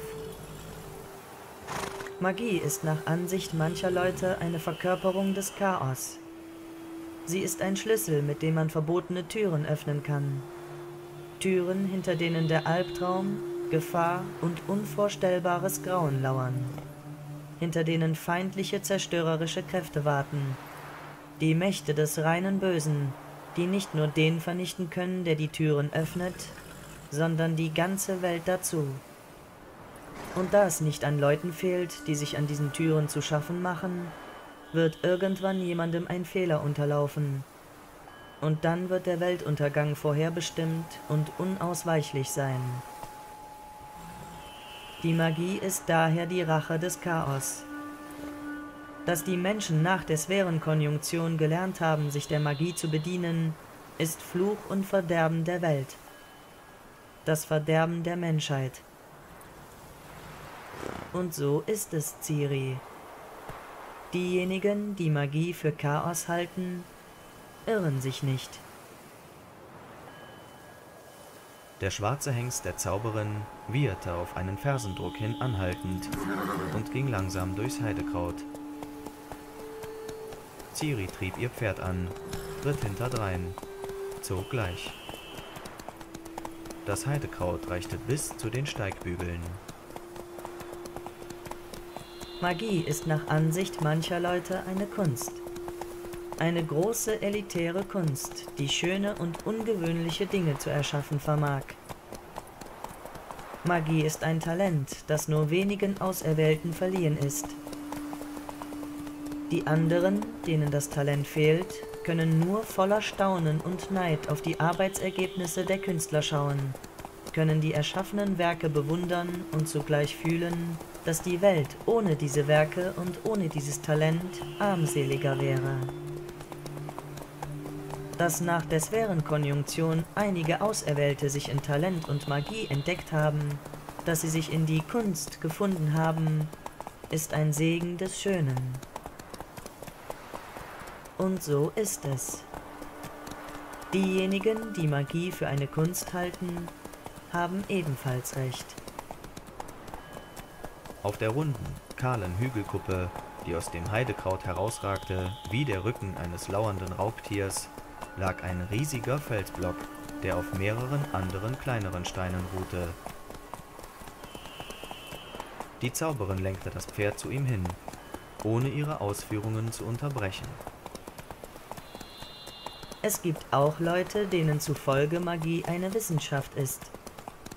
Um sie zu meistern, genügen Talent und angeborene Fähigkeiten nicht. Unerlässlich sind Jahre gründlicher Studien und angestrengter Arbeit. Notwendig sind Ausdauer und innere Disziplin. Die so erworbene Magie ist Wissen, ist Erkenntnis, deren Grenzen von klugen und lebhaften Geistern ständig erweitert werden durch Erfahrung, Experiment, Praxis. Die so erworbene Magie ist ein Fortschritt. Sie ist Pflug, Webstuhl, Wassermühle, Hochofen, Hebel und Flaschenzug. Sie ist Fortschritt, Entwicklung, Veränderung. Eine unablässige Bewegung. Aufwärts, zum Besseren zu den Sternen. Dass wir nach der Sphärenkonjunktion die Magie entdeckt haben, wird uns eines Tages erlauben, die Sterne zu erreichen.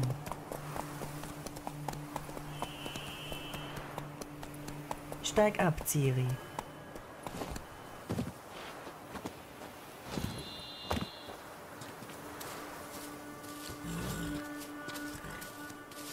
Jennifer näherte sich dem Monolithen, legte die Hand auf die raue Oberfläche des Steins, strich vorsichtig Staub und vertrocknete Blätter weg.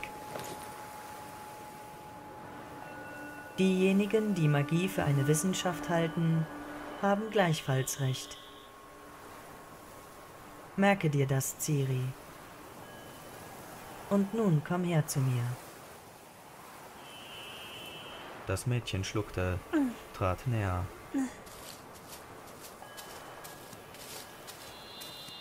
Die Zauberin legte ihr den Arm um die Schultern. Merke es dir. Magie ist Chaos, Kunst und Wissenschaft. Sie ist Fluch, Segen und Fortschritt. Alles hängt von dem ab, der sich der Magie bedient, wie und zu welchem Zweck. Magie aber ist überall, überall ringsumher, leicht zugänglich. Man braucht nur die Hand auszustrecken. Schau, ich strecke die Hand aus. Der Cromlech erzitterte fühlbar. Ciri hörte ein dumpfes, fernes Brausen, ein aus der Tiefe der Erde dringendes Rasseln. Das Heidekraut begann zu wogen, von einem Windstoß zu Boden gedrückt, der plötzlich auf die Anhöhe fiel. Der Himmel verfinsterte sich auf einen Schlag, von Wolken verhangen, die mit unheimlicher Geschwindigkeit dahineilten. Das Mädchen spürte Regentropfen auf dem Gesicht. Sie kniff die Augen unter dem Feuerschein der Blitze zusammen, die plötzlich den Horizont überzogen. Instinktiv presste sie sich an die Zauberin, an ihre schwarzen, nach Flieder und Stachelbeeren riechenden Haare. Die Erde, auf der wir einhergehen. Das Feuer, das in ihrem Inneren nicht erlischt. Das Wasser, aus dem alles Leben gekommen ist und ohne das es kein Leben gibt. Die Luft, die wir atmen. Man braucht nur die Hand auszustrecken, um sie zu beherrschen, sie sich dienstbar zu machen. Magie ist überall. Sie ist in der Luft, im Wasser, in der Erde und im Feuer. Und sie ist hinter den Türen, die die Sphärenkonjunktion vor uns verschlossen hat. Von dort her, hinter den verschlossenen Türen hervor, streckt die Magie manchmal die Hand zu uns aus. Nach uns. Du weißt davon, nicht wahr? Du hast die Berührung der Magie schon gespürt, die Berührung der Hand hinter den verschlossenen Türen hervor. Diese Berührung hat dich mit Furcht erfüllt. Solch eine Berührung erfüllt jeden mit Furcht. Denn in jedem von uns sind Chaos und Ordnung, Gut und Böse.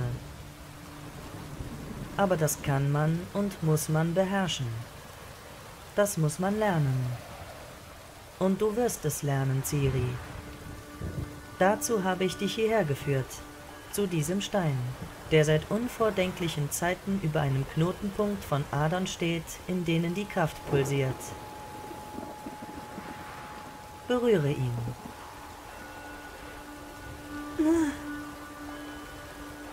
Der Felsblock zitterte, vibrierte, und zusammen mit ihm zitterte und vibrierte die ganze Anhöhe. Die Magie streckt die Hand nach dir aus, Ciri. Nach dir, seltsames Mädchen. Überraschungskind. Kind des älteren Blutes. Des Elfenblutes. Seltsames Mädchen, verstrickt in Bewegung und Veränderung, in Vernichtung und Wiedergeburt, vorherbestimmt und Selbstvorherbestimmung. Die Magie streckt hinter den verschlossenen Türen hervor die Hand nach dir aus. Nach dir, kleines Sandkörnchen im Getriebe der Schicksalsuhr. Nach dir streckt seine Krallen das Chaos aus, das sich noch immer nicht sicher ist, ob du zu seinem Werkzeug werden wirst oder aber zu einem Hindernis für seine Pläne. Was dir das Chaos in deinen Träumen zeigt, ist gerade jene Ungewissheit. Das Chaos fürchtet dich, Kind der Vorherbestimmung. Und es will bewirken, dass du es bist, die Furcht empfindet.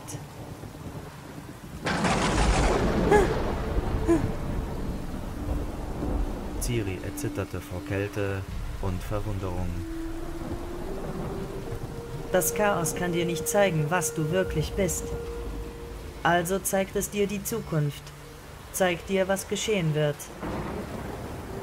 Es will, dass du dich vor den kommenden Tagen fürchtest, dass die Angst vor dem, was dir und deinen Nächsten widerfahren wird, dich zu lenken beginnt, dass sie dich ganz und gar beherrscht.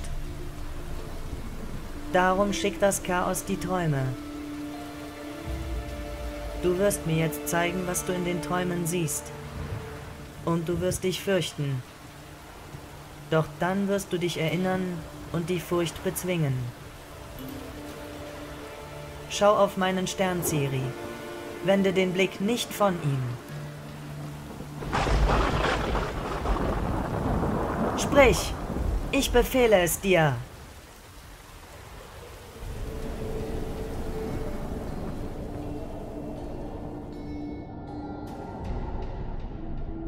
Blut. Jennifers Lippen, zerquetscht und zerschlagen, bewegen sich lautlos, verströmen Blut. Weiße Felswände huschen im Galopp vorbei. Ein Pferd wird. Ein Sprung. Ein Abgrund. Bodenlos.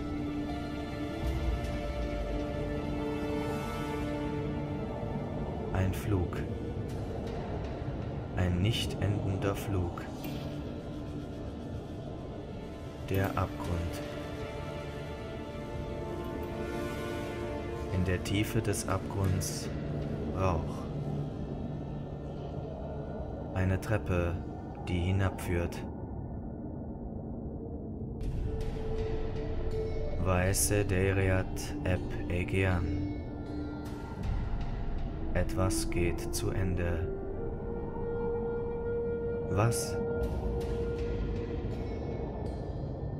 Elaine Blatt, Feainevet.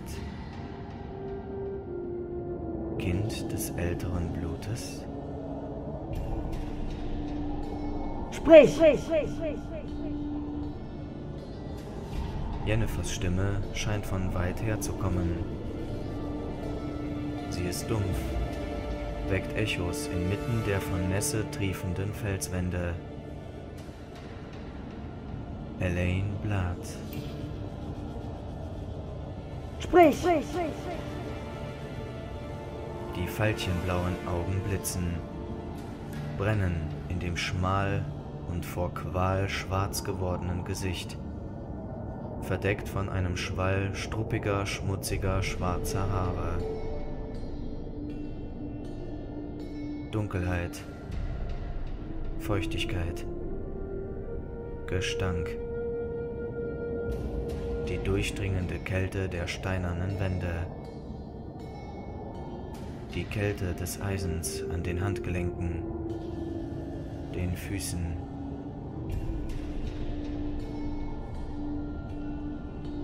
Der Abgrund. Rauch die abwärts führende Treppe. Die Treppe, die sie hinabgehen muss. Muss, weil... weil etwas zu Ende geht. Weil das Ted Deriat naht. Die Zeit des Endes. Eine Zeit der Wolfsstürme.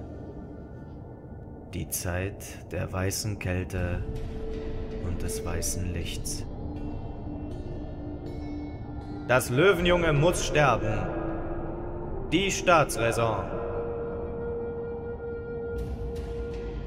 Gibt es hier keinen anderen Ausgang? Nein, sagt Gerald. Gibt es nicht. Nur diese Treppe. So muss es sein, Mädchen.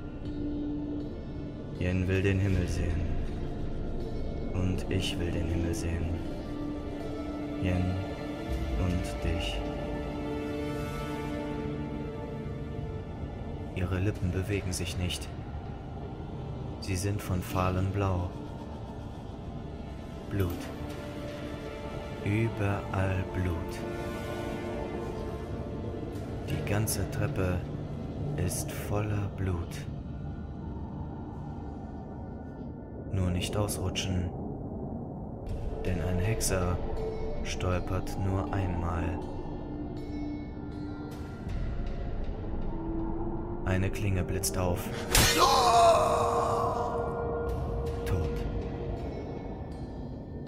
Hinab. Die Treppe hinab.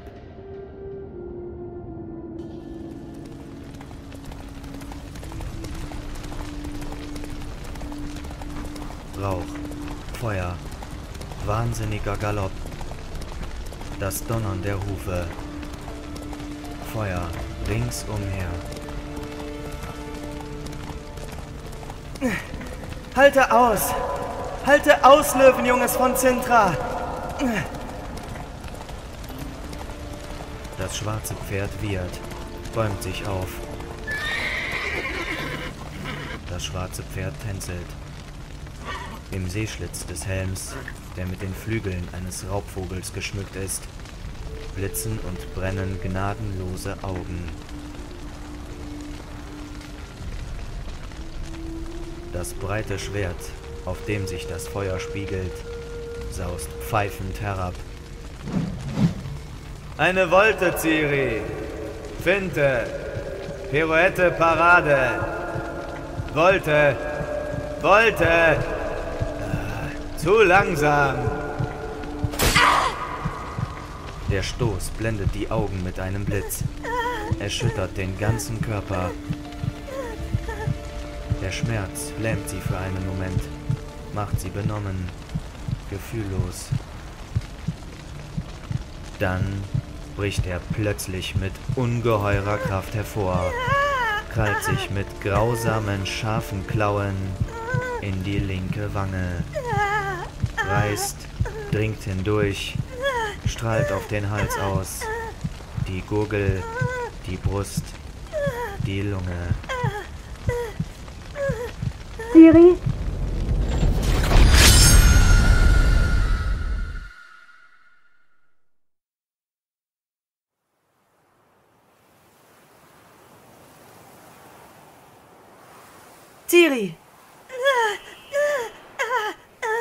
Am Rücken und Hinterkopf fühlte sie die raue, unangenehm reglose Kälte des Steins. Sie erinnerte sich nicht, wann sie sich gesetzt hatte. Jennifer kniete neben ihr. Sanft, aber entschieden öffnete sie ihr die Finger, führte die Hand von der linken Wange weg. In der Wange hämmerte, pulsierte der Schmerz.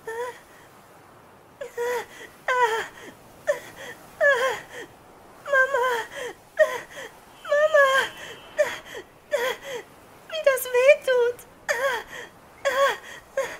Liebe Mama! Die Zauberin berührte ihr Gesicht. Ihre Hand war kalt wie Eis. Der Schmerz hörte augenblicklich auf. Das Mädchen schloss die Augen. Ich habe gesehen. Das war wie in den Träumen. Den schwarzen Ritter. Gerald. Und dann noch dich. Ich habe dich gesehen, Frau Jennifer. Ich weiß. Ich habe dich gesehen. Habe gesehen, wie... Nie wieder. Du wirst das nie mehr sehen. Nie mehr wirst du davon träumen. Ich werde dir Kraft geben, die diese Albträume von dir vertreibt. Dazu habe ich dich hierher geführt, Ciri, um dir diese Kraft zu zeigen. Morgen beginne ich, sie dir zu geben.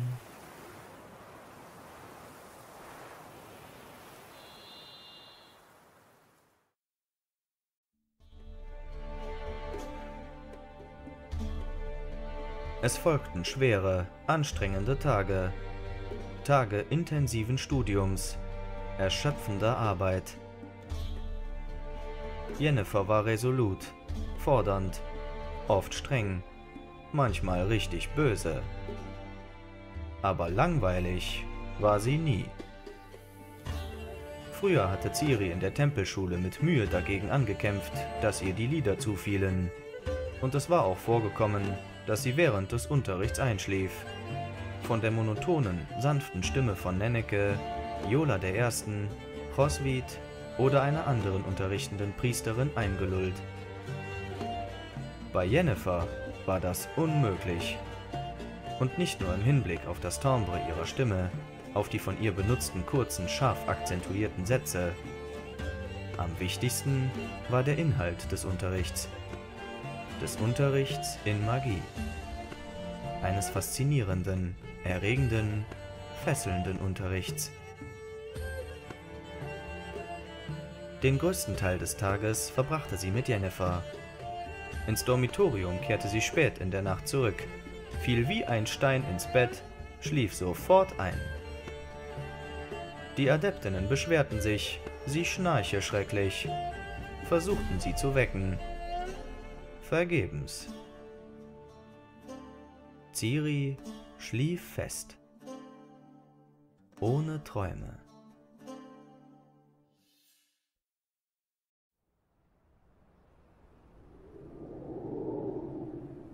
Oh, Götter. Das ist doch so einfach. Wenn du es nicht schaffst, diese Geste zu beherrschen, was soll dann mit den schwierigeren werden? Äh, von wegen einfach. Ver. Äh. Ciri wandte sich um, rieb sich die taub gewordene Hand. Schau dir noch einmal die Zeichnung an. Sieh, wie die Fingerstellung sein muss. Beachte die Erklärungspfeile und die Runen, die die Geste beschreiben, welche man ausführen muss. Ich habe mir diese Zeichnung schon tausendmal angeschaut. Die Runen verstehe ich. Wort Kelme, Is Veloe. Von sich weg, langsam. Nach unten schnell. Die Handfläche. Mh, hm, so? Und der kleine Finger? Den kann man nicht so halten, ohne gleichzeitig den Ringfinger krumm zu machen. Gib mir die Hand. Au! Leise, Ciri. Sonst kommt Nenneke wieder gelaufen, weil sie denkt, dass ich dir bei lebendigem Leibe die Haut abziehe oder dich in Öl brate. Verändere die Fingerstellung nicht. Und jetzt führe die Geste aus. Drehung. Drehung im Handgelenk. Gut. Jetzt schüttle die Hand aus. Lockere die Finger. Und noch einmal. Oh, nicht doch. Weißt du, was du getan hast?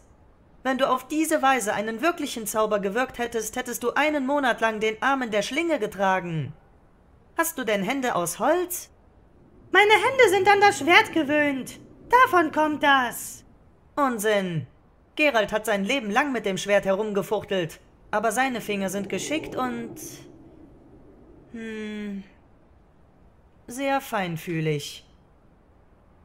Weiter, Eulchen. Versuch es noch einmal. Na, siehst du? Du brauchst es nur zu wollen. Du brauchst dir nur Mühe zu geben. Noch einmal. Gut. Schüttle die Hand aus. Und noch einmal. Gut. Bist du müde? Ein bisschen. Warte.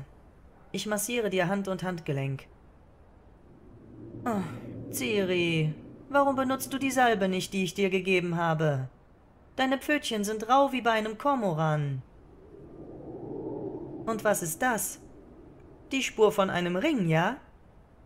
Bilde ich mir das ein oder habe ich dir verboten, Schmuck zu tragen?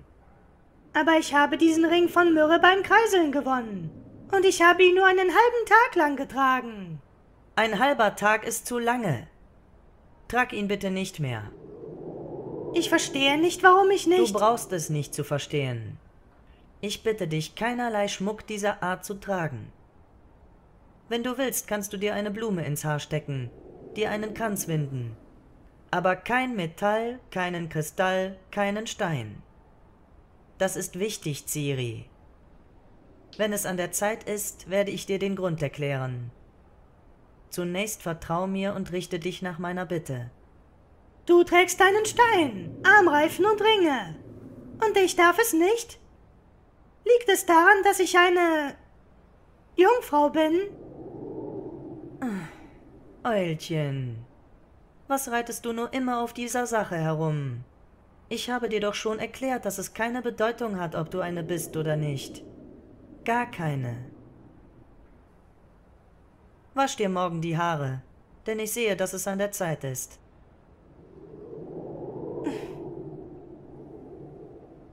Frau Jennifer? Ja? Kann ich bei der Ehrlichkeit, die du mir versprochen hast, kann ich dich etwas fragen? Kannst du. Aber bei den Göttern, bloß nicht wegen der Jungfräulichkeit, bitte.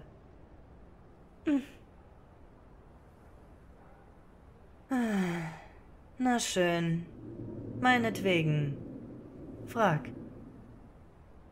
Es ist nämlich so. Die Mädchen im Dormitorium schwätzen andauernd und erzählen alle möglichen Geschichten. Vom Ballantyne-Fest und so.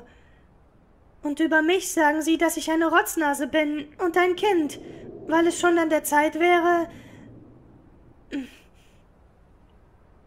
Frau Jennifer, ist das wirklich so? Wie merkt man, dass es an der Zeit ist? Dass man mit einem Mann ins Bett gehen kann? Mhm. Das kann man leicht feststellen. Wenn du anfängst darüber nachzudenken, dann ist das ein Zeichen, dass es soweit ist. Aber ich will überhaupt nicht. Noch nicht. Es ist keine Pflicht.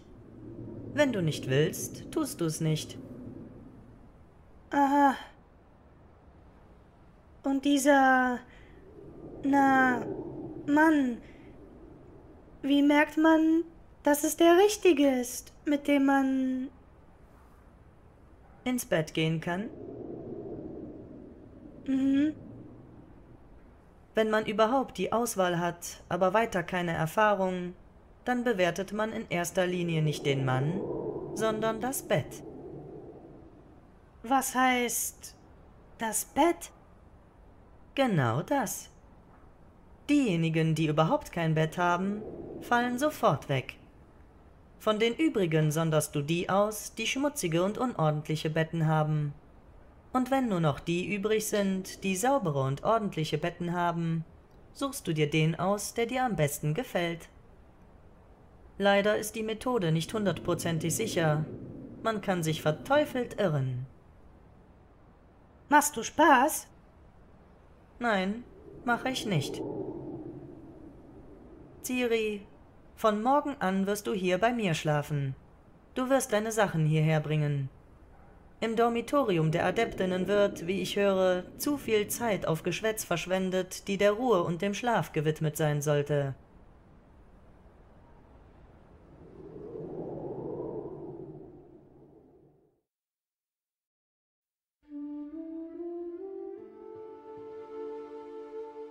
Nachdem sie die grundlegenden Handstellungen, Bewegungen und Gesten gemeistert hatte, begann Ciri Zaubersprüche und die zugehörigen Formeln zu lernen. Die Formeln waren leichter. In der älteren Rede niedergeschrieben, die das Mädchen perfekt beherrschte, prägten sie sich ihr leicht ein. Mit der beim Aussprechen notwendigen, mitunter recht komplizierten Intonation hatte sie auch keine Schwierigkeiten. Jennifer war sichtlich zufrieden, wurde von Tag zu Tag immer netter und sympathischer. Immer öfter schwätzten sie beide, wenn sie eine Pause bei der Ausbildung einlegten, über alles Mögliche, scherzten. Sie fanden beide sogar Gefallen an leichtem Spott über Nenneke, die bei den Unterweisungen und Übungen oft hospitierte, aufgeplustert wie eine Glucke, bereit, Ciri unter ihre Fittiche zu nehmen, sie vor der vermeintlichen Strenge der Zauberin und den unmenschlichen Foltern der Ausbildung zu schützen und zu retten. Ciri folgte der Empfehlung und zog in Jennefers Zimmer. Jetzt waren sie nicht nur tags, sondern auch nachts beisammen. Manchmal fand auch der Unterricht nachts statt. Manche Gesten, Formeln und Sprüche durften bei Tageslicht nicht verwendet werden. Die Zauberin, zufrieden mit den Fortschritten des Mädchens, verringerte das Tempo der Ausbildung. Sie hatten mehr freie Zeit. Die Abende verbrachten sie mit der Lektüre von Büchern, gemeinsam oder jede für sich. Ciri arbeitete sich durch Stammelforts Dialoge über das Wesen der Magie, Giambattistas Reiche der Elixiere, durch die natürliche Magie von Richard und Monk. Sie blätterte auch in solchen Werken, die sie aber nicht vollends durchlesen konnte, wie Die unsichtbare Welt von Jan Becker und Das Geheimnis der Geheimnisse von Agnes von Glanville. Sie schaute in den uralten vergilbten Kodex von Myrte und ins Art Erkane, sogar in das berühmte, schreckliche Dud Wimmermorg, das voller furchterregender Kupferstiche war. Sie griff auch nach anderen Büchern, die nichts mit Magie zu tun hatten. Sie las die Weltgeschichte und den Traktat vom Leben. Auch leichtere Lektüre aus der Tempelbibliothek ließ sie nicht aus. Mit rotem Kopf verschlang sie die Spielchen des Makile Creame und die Königlichen Damen von Annie Tiller. Sie las Missgeschicke der Liebe und Zeit des Mondes die Gedichtbände des berühmten Troubadours Rittersporn. Sie weinte über den feinsinnigen, geheimnisatmenden Balladen von Essie Darwin, die in einem kleinen, hübsch gebundenen Bändchen mit dem Titel Die blaue Perle gesammelt waren. Oft machte sie Gebrauch von ihrem Privileg und stellte Fragen. Und sie erhielt Antworten. Immer öfter musste sie sich jedoch selbst Fragen stellen lassen. Jennifer schien sich anfangs überhaupt nicht für ihr Schicksal zu interessieren, weder für ihre Kindheit in Sintra noch für die späteren Ereignisse während des Krieges. Doch dann wurden die Fragen immer konkreter. Ciri musste antworten. Sie tat es sehr ungern, denn jede Frage der Zauberin öffnete in ihrer Erinnerung Türen, die niemals zu öffnen sie sich geschworen hatte, die sie lieber ein für allemal geschlossen halten wollte. Seit der Begegnung mit Gerald in Sodden meinte sie, ein neues Leben begonnen zu haben, glaubte, jenes andere in Sintra sei endgültig und unwiderruflich ausgelöscht. Die Hexer in Kaer hatten nie nach irgendetwas gefragt. Und vor der Ankunft im Tempel hatte Gerald geradezu von ihr verlangt, dass sie niemals jemandem verriet, wer sie war. Nenneke, die natürlich alles wusste, sorgte dafür, dass Ciri für die anderen Priesterinnen und die Adeptinnen die ganz gewöhnliche, uneheliche Tochter eines Ritters und einer Bäuerin sei Ein Kind, für das weder im Kastell des Vaters noch in der Hütte der Mutter Platz war. Die Hälfte der Adeptinnen im Tempel der Melitele waren genau solche Kinder. Doch Jennifer kannte das Geheimnis ebenfalls. Sie war jemand, dem man trauen konnte. Jennifer fragte nach damals, nach Zintra.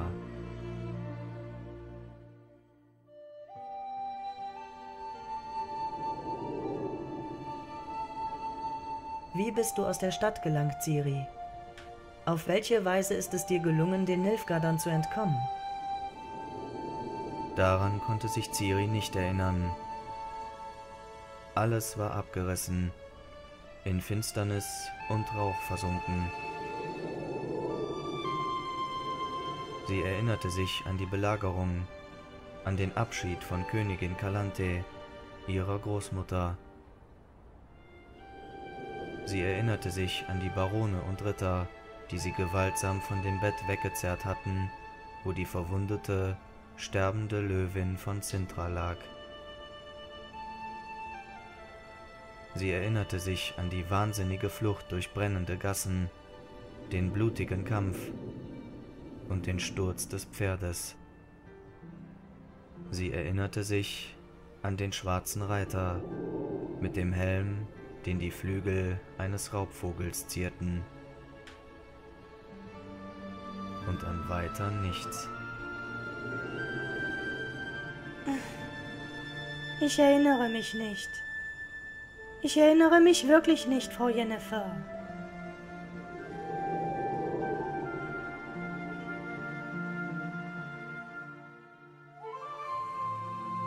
Jennifer bestand nicht auf eine Antwort. Sie stellte andere Fragen. Sie tat es feinfühlig und taktvoll. Und Ciri fühlte sich immer freier. Schließlich begann sie von selbst zu sprechen. Ohne auf Fragen zu warten, erzählte sie von ihrer Kindheit in Sintra und auf den Skellige-Inseln, wie sie vom Gesetz der Überraschung erfahren hatte und davon, wie das Urteil des Schicksals sie zur Vorherbestimmung Geralds von Riva gemacht hatte, des Hexers mit den weißen Haaren. Sie erzählte vom Krieg, vom Umherirren in den Wäldern des Flusslandes, vom Aufenthalt bei den Druiden von Angren und von der Zeit, die sie im Dorfe Kagen verbracht hatte. Wie Gerald sie dort gefunden und nach Kaer Morhen mitgenommen hatte, in die Heimstatt der Hexer und ein neues Kapitel in ihrem Leben aufgeschlagen hatte.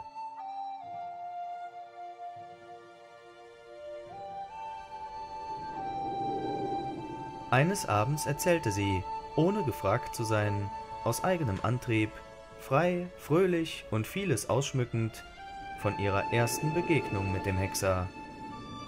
Im Walde Brokilon unter den Dryaden, die sie entführt hatten und mit Gewalt festhalten wollten, um eine Dryade aus ihr zu machen. Jennifer hörte sich die Erzählung mit Interesse an. Ich würde viel darum geben, hätte ich das sehen können. Ich meine Gerald. Ich versuche mir sein Gesicht vorzustellen, damals in Brokilon, als er merkte, welche Überraschung ihm die Vorsehung bereitet hatte. Er muss doch ein wundersames Gesicht gemacht haben, als er erfuhr, wer du bist. oh ja, er hat ein Gesicht gezogen. Und was für eins. Willst du es sehen? Ich zeig's dir. Schau mich an. Hm?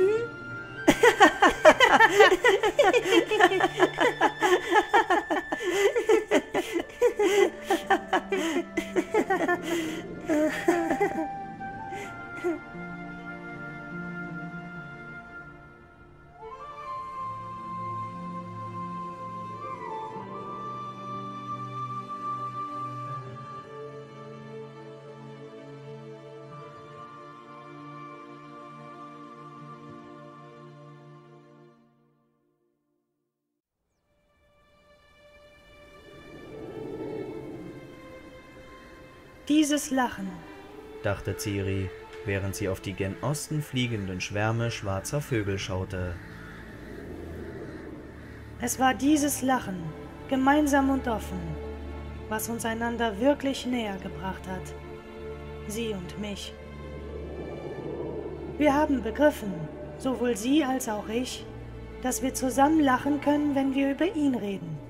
Über Gerald. Und auf einmal waren wir einander nahe. Obwohl ich durchaus wusste, dass Gerald uns zugleich verbindet und trennt. Ich hoffe nur, dass es nicht immer so sein wird. Dieses gemeinsame Lachen hat uns einander näher gebracht. Und das, was zwei Tage später geschah. Im Wald, auf den Anhöhen. Damals hat sie mir gezeigt, wie man sie findet.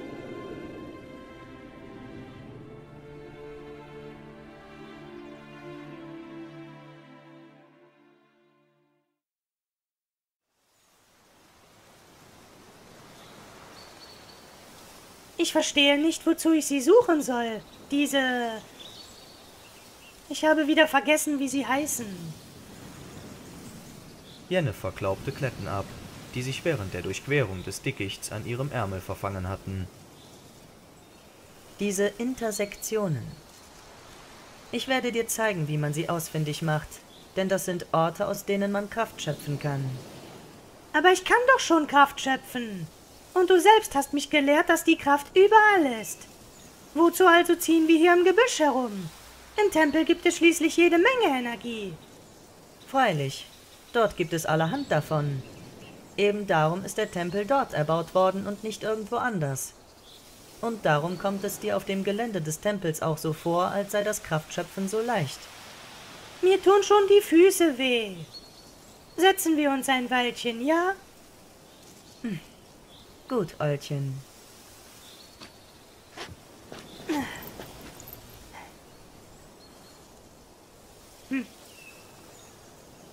Frau Jennifer? Ja? Warum schöpfen wir Kraft immer aus Wasseradern? Magische Energie gibt es doch überall. Sie ist in der Erde, nicht wahr? In der Luft, im Feuer. So ist es. Und die Erde? Na, hier gibt es ringsum lauter Erde, unter den Füßen. Und überall gibt es Luft. Und wenn wir Feuer haben wollen, brauchen wir ja nur eins anzuzünden und... Du bist noch zu schwach, um Energie aus der Erde zu schöpfen. Du weißt noch zu wenig, als dass du etwas aus der Luft gewinnen könntest. Und mit dem Feuer zu spielen verbiete ich dir kategorisch. Ich habe schon gesagt, dass man auf gar keinen Fall die Energie des Feuers anrühren darf. Schrei nicht. Ich habe es mir gemerkt. Sie saßen schweigend auf einem trockenen, umgestürzten Baumstamm, hörten den Wind in den Baumkronen rauschen, hörten einen Specht, der irgendwo in der Nähe verbissen hämmerte. Ciri hatte Hunger, und vor Durst wurde ihr die Spucke dick. Doch sie wusste, dass Jammern nichts helfen würde. Früher, vor einem halben Jahr, hatte Jennifer auf derlei Klagen mit einem trockenen Vortrag über die Kunst reagiert, die primitiven Instinkte zu beherrschen. Später hatte sie sie einfach mit Schweigen abgetan. Proteste hatten ebenso wenig Sinn und brachten ebenso wenig Erfolg wie Beschwerden über die Bezeichnung Eulchen. Die Zauberin klaubte die letzte Klette vom Ärmel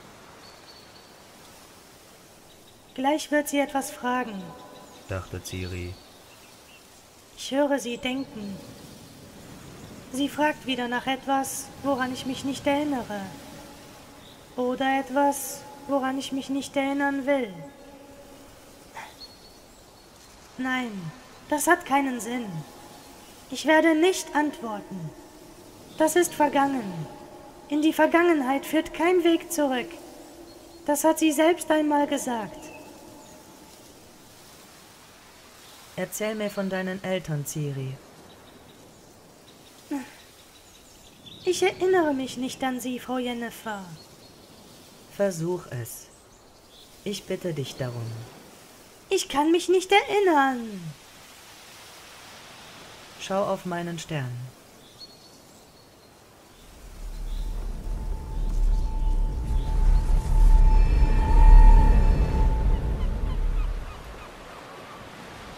Es schrien Möwen, die zwischen die Fischerboote herabstießen, wo sie Abfälle und von Deck geworfene kleine Fische fingen. Der Wind ließ die gerefften Segel der Drachenboote sacht flappen. Über der Anlegestelle ballte sich der vom Nebel niedergedrückte Rauch zusammen. In den Hafen liefen die Dreiruderer von Sintra ein. Die goldenen Löwen auf den blauen Bannern schimmerten. Onkel Krach, der neben ihr stand und ihr eine Hand, groß wie eine Bärentatze, auf die Schulter gelegt hatte, sank plötzlich auf ein Knie nieder.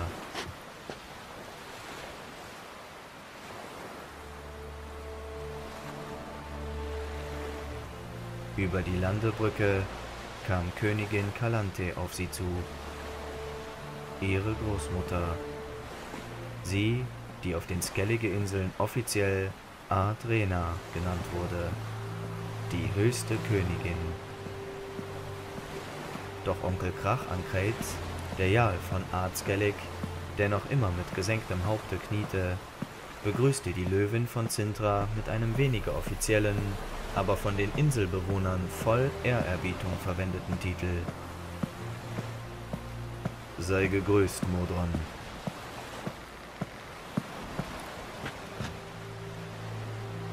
Fürstentochter, komm zu mir. Komm zu mir her, Ciri.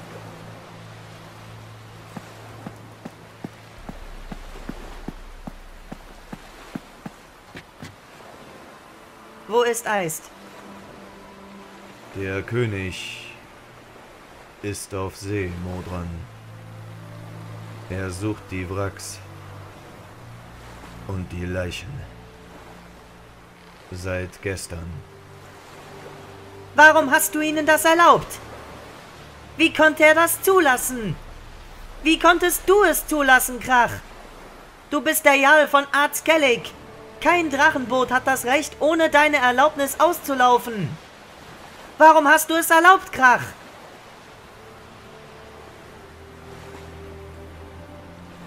Pferde! Wir reiten zum Vor. Und morgen bei Tagesanbruch reise ich ab. Ich nehme die Fürstentochter nach Zintra mit.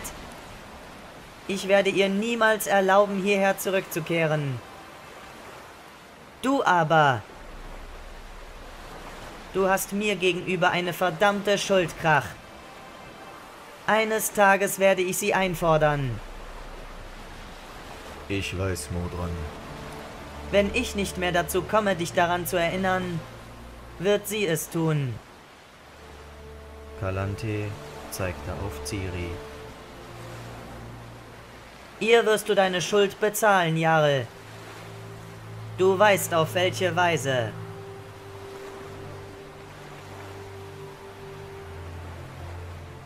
Krach an Kreit stand auf, streckte sich. Die Züge seines wettergegerbten Gesichts wurden hart. Mit einer raschen Bewegung zog er das schmucklose, einfache, stählerne Schwert aus der Scheide, entblößte den linken Unterarm, der von breiten, hellen Narben bedeckt war. Ohne theatralische Gesten. Geh sparsam mit deinem Blut um. Ich habe gesagt, eines Tages. Denk dran. Krach an Kreit, der Jarl von Arzgellig, hob die Hände, schüttelte das Schwert. En me gleidiv, svere a bloetgas, artrena, linos ep xintra.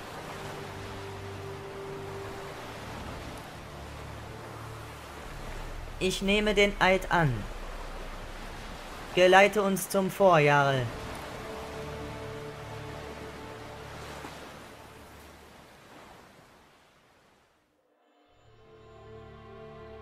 Ciri erinnerte sich an die Rückkehr von König Eist, sein versteinertes, bleiches Gesicht. und an das Schweigen der Königin. Sie erinnerte sich an das trübsinnige, schreckliche Mahl, bei dem sich die wilden, bärtigen Seebären von Skellige allmählich in bedrückender Stille betranken. Sie erinnerte sich an das Flüstern. Geas muire. Geas muire.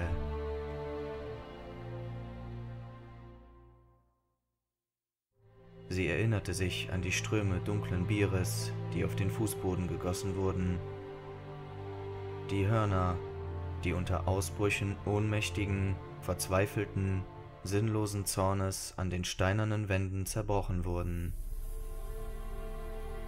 Geas muire. Pavetta. Pavetta. Die Prinzessin von Sintra. Und ihr Mann, Prinz Duni, Ciris Eltern, verschollen, umgekommen. Es hatte sie Geas Muire getötet, der Fluch des Meeres. Ein Sturm hatte sie verschlungen, den niemand vorhergesehen hatte. Ein Sturm, den es nicht hätte geben dürfen.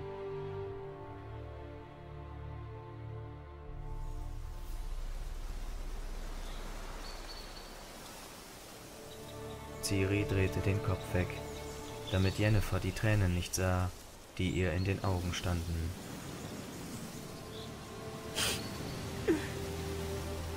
Wozu das alles? dachte sie. Wozu diese Fragen, diese Erinnerungen? In die Vergangenheit führt kein Weg zurück. Es gibt sie alle nicht mehr. Weder Papa noch Mama, noch die Großmutter. Sie, die die Adrena war, die Löwin von Sintra. Onkel Krachankret ist sicherlich auch umgekommen. Ich habe niemanden mehr und bin jemand anders. Es führt kein Weg zurück.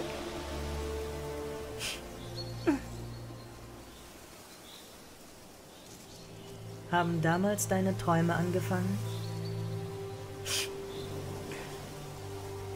Nein. Nein, nicht damals. Erst später. Wann? Im Sommer. Dem vor sechs Jahren, glaube ich. Als ich in Werden war. Denn im nächsten Sommer war schon Krieg. Aha. Das heißt, die Träume haben nach der Begegnung mit Gerald im Brokilon begonnen? Mhm. Auf die nächste Frage werde ich nicht antworten. beschloss sie. Doch Jennifer fragte nicht. Sie stand auf, blickte zur Sonne. Na, genug gesessen, Eulchen. Es wird spät. Wir suchen weiter. Die Hand locker nach vorn. Nicht die Finger anspannen. Vorwärts. Wohin soll ich gehen? In welche Richtung? Das ist egal. Die Adern sind überall? Fast. Du wirst lernen, sie zu entdecken, sie im Gelände zu finden, solche Punkte zu erkennen. Anzeichen dafür sind verdorrte Bäume, zwerghafte Pflanzen, Stellen, die von allen Tieren gemieden werden, außer von Katzen. Katzen? Katzen lieben es, auf den Intersektionen zu schlafen und auszuruhen. Es sind viele Geschichten von magischen Tieren im Schwange, aber in Wahrheit ist die Katze, neben dem Drachen, das einzige Geschöpf, welches Kraft aufzunehmen vermag. Niemand weiß, wozu die Katze sie aufnimmt und was sie damit macht. Oh, Was ist? oh, dort, in diese Richtung. Da scheint etwas zu sein. Hinter diesem Baum. Ciri, fantasiere nicht. Eine Intersektion spürt man, wenn man darüber steht. Hm. Interessant. Ich würde sagen, ungewöhnlich. Spürst du wirklich einen Zug? Wirklich? Also gehen wir. Interessant, interessant. Na, orte sie. Zeig wo. Hier, an dieser Stelle. Bravo. Hervorragend. Spürst du die leichte Krümmung des Ringfingers? Siehst du, wie er sich nach unten neigt? Merk dir, das ist das Signal. Kann ich Kraft schöpfen? Warte, ich überprüfe sie. Frau Jennifer? Wie ist das mit diesem Schöpfen? Wenn ich Kraft in mich aufnehme, dann fehlt sie ja vielleicht dort unten. Darf man das? Mutter Nenneke hat uns gelehrt, dass man nichts einfach so nehmen darf, zum Spaß. Sogar die Kirschen muss man an den Bäumen lassen, für die Vögel, und dass sie einfach herunterfallen. Oh. Jennifer umarmte sie, gab ihr einen leichten Kuss auf die Schläfe.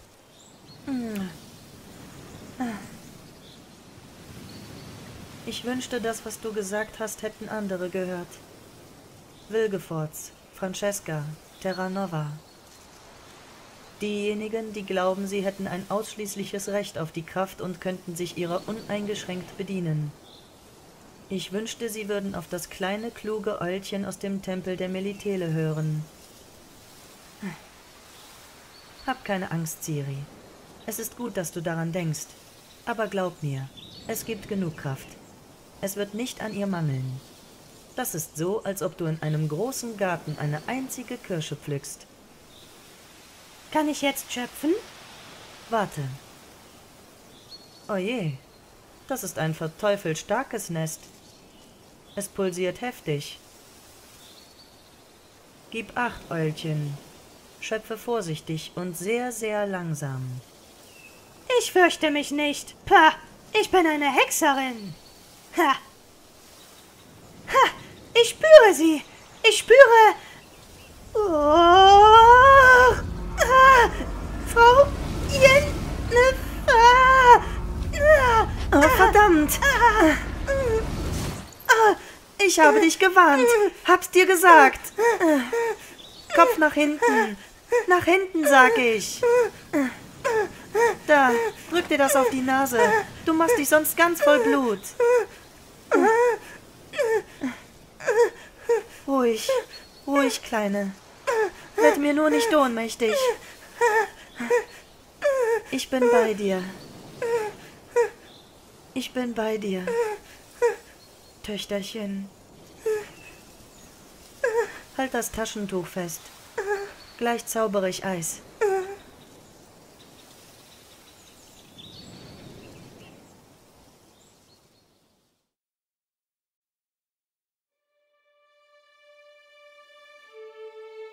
Um das bisschen Nasenbluten gab es einen großen Skandal.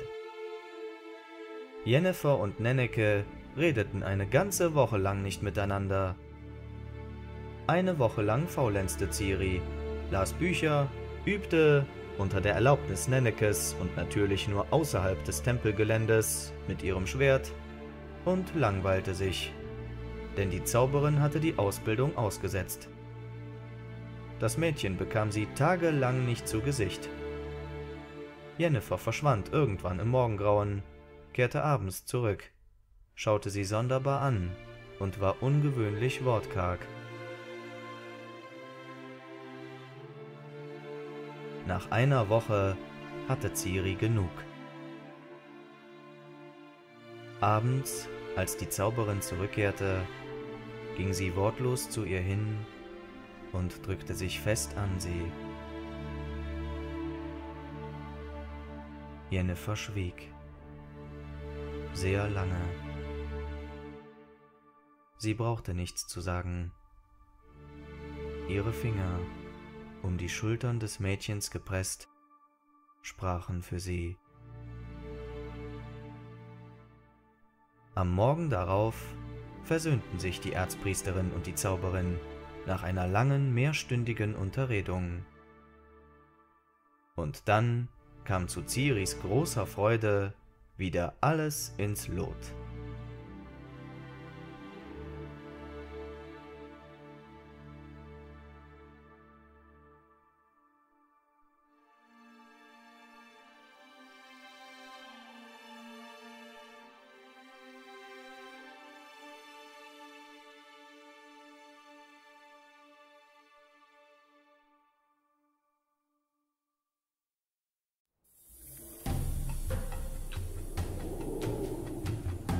Schau mir in die Augen, Ciri.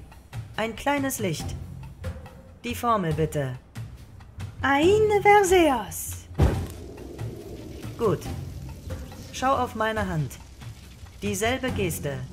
Und verstreu das Licht in der Luft. Eine NNE. Hervorragend. Und welche Geste muss man jetzt machen? Ja, genau diese. Sehr gut. Verstärke die Geste und schöpfe. Mehr. Mehr. Ohne Pause.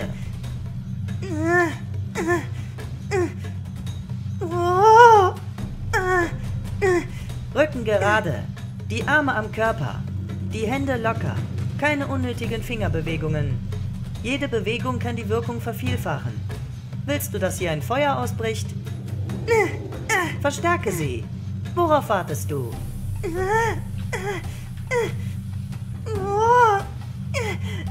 Ich.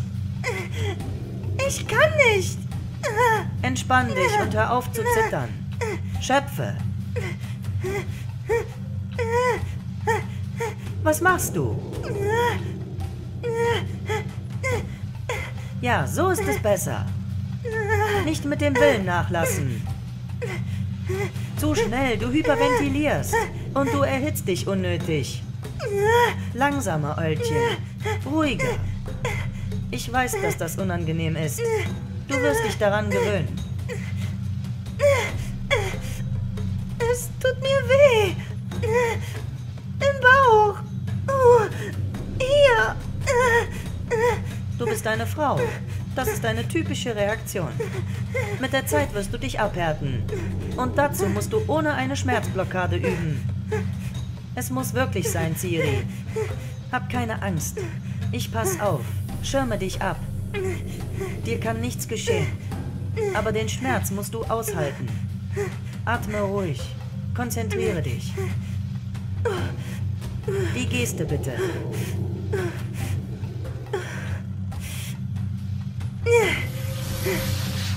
Perfekt. Und nimm Kraft auf. Schöpfe. Zieh sie heraus. Gut, gut. Noch ein bisschen.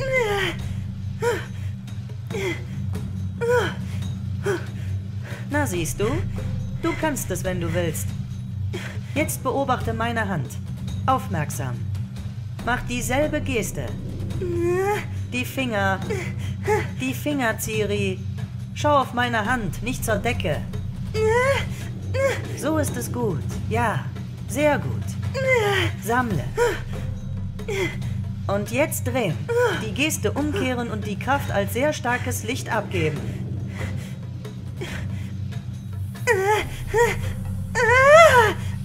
Hör auf zu heulen. Beherrsch dich. Das ist ein Krampf. Geht gleich vorbei. Die Finger breiter. Lösch es. Gib's aus dir heraus. Langsamer, verdammt. Sonst platzen dir wieder Blutgefäße.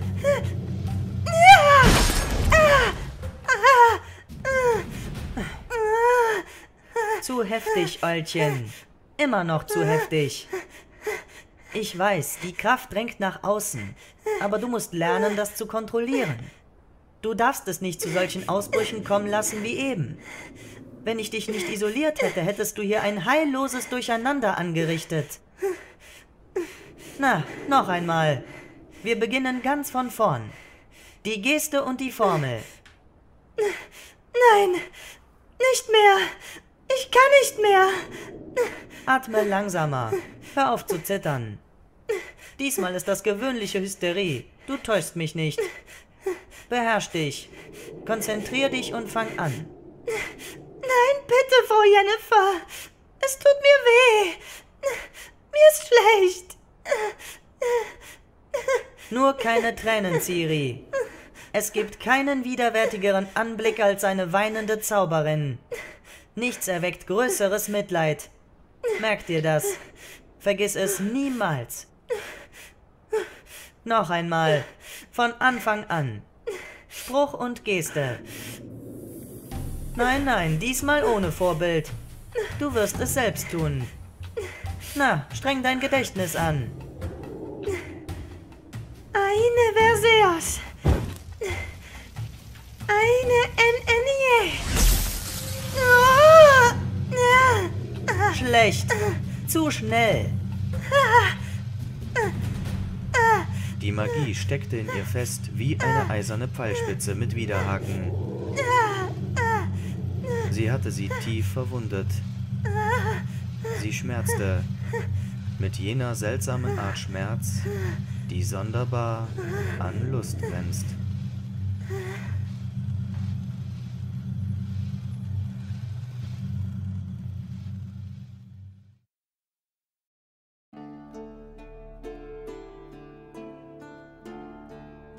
Zur Entspannung liefen sie wieder durch den Park. Jennifer hatte Nenneke überredet, Ciris Schwert aus dem Magazin herauszurücken und ermöglichte es dem Mädchen, Schritte, Finden und Ausfälle zu üben. Natürlich so, dass die anderen Priesterinnen und Adeptinnen es nicht sahen. Doch die Magie war allgegenwärtig. Ciri lernte, wie man mit einfachen Zaubersprüchen und Konzentration des Willens Muskeln lockert, Krämpfe löst, das Adrenalin unter Kontrolle bringt, das Ohrlabyrinth und den Vagusnerv beherrscht, wie man den Puls verlangsamt oder beschleunigt, wie man sich für kurze Zeit vom Sauerstoff unabhängig macht. Die Zauberin wusste unerwartet viel vom Schwert und vom Tanz der Hexer. Sie wusste viel über die Geheimnisse von Kaer Morhen, war zweifellos im Schloss gewesen. Sie kannte Wesemir und Eskel, Lambert und Cohen kannte sie nicht. Jennifer war in Kaer Morhen gewesen. Ciri konnte sich denken, warum während der Gespräche über das Schloss Wärme in die Augen der Zauberin trat, sie den bösen Schimmer und die kalte, gleichgültige, weise Tiefe verloren. Wenn solche Worte auf Jennifer gepasst hätten, hätte Ciri sie in diesen Momenten als verträumt bezeichnet, als jemanden, der Erinnerungen nachhing. Ciri konnte sich denken, warum. Es gab ein Thema, das anzuschneiden das Mädchen instinktiv und sorgsam vermied. Aber einmal verplapperte sie sich und plauderte es aus. Über Triss Marigold. Scheinbar widerwillig, scheinbar gleichgültig, mit scheinbar beiläufigen Fragen holte Jennifer den Rest aus ihr heraus. Ihre Augen waren hart und undurchdringlich. Ciri konnte sich denken, warum. Und oh Wunder, sie fühlte keinen Unmut mehr. Die Magie beruhigte sie.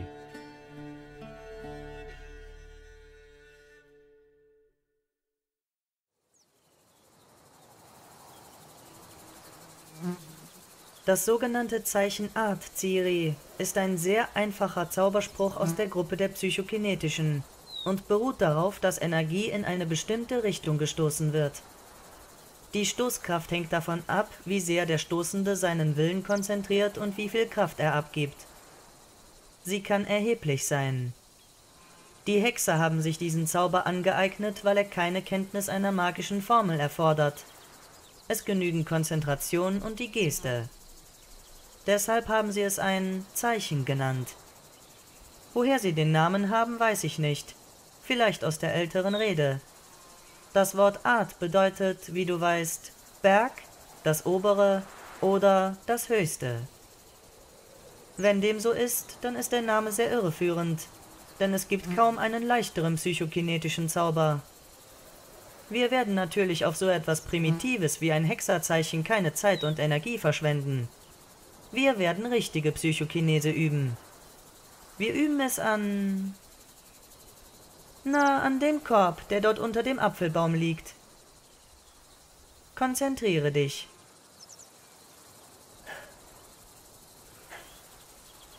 Hab ich. Du konzentrierst dich schnell. Denk dran, kontrolliere den Kraftausstoß. Du kannst nur so viel abgeben, wie du aufgenommen hast. Wenn du auch nur ein Quäntchen mehr abgibst, tust du es auf Kosten deines eigenen Organismus.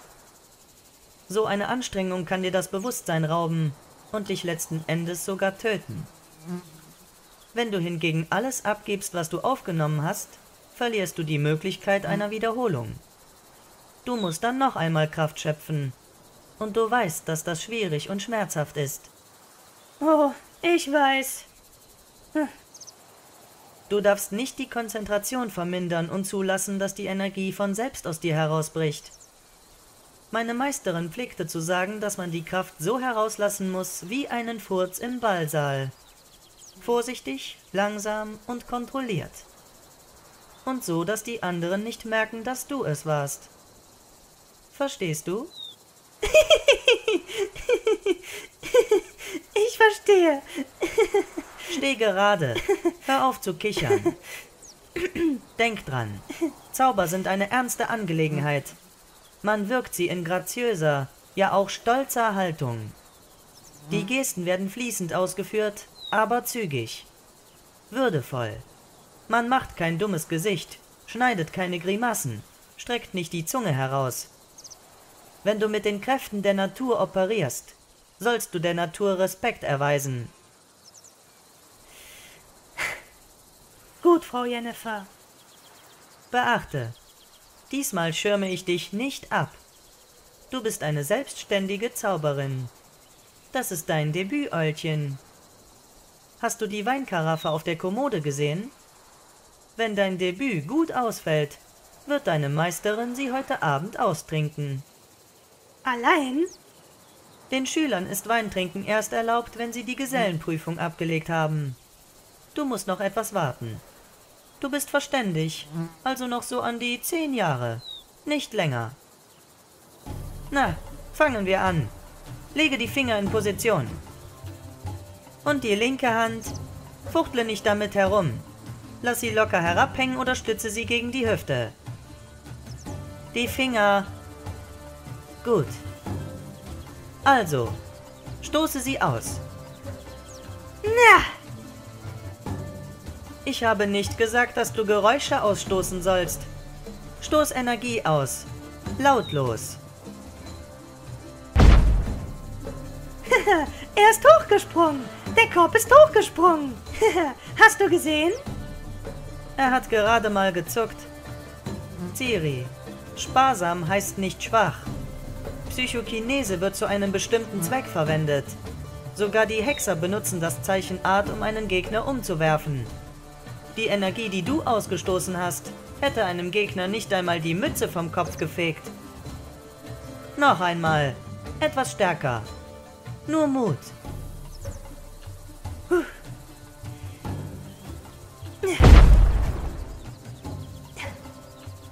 Ha! Der ist vielleicht geschwebt. War es jetzt gut? Wirklich, Frau Jennifer? Hm. Du wirst dann in die Küche laufen und ein bisschen Käse zu unserem Wein holen. Es war fast gut. Fast. Noch stärker, Eulchen. Keine Angst. Reiß den Korb vom Boden hoch und schleuder ihn ordentlich an die Wand von dem Schuppen dort dass die Funken stieben. Mach den Rücken nicht krumm. Kopf hoch. Graziös und stolz. Nur Mut. Mut.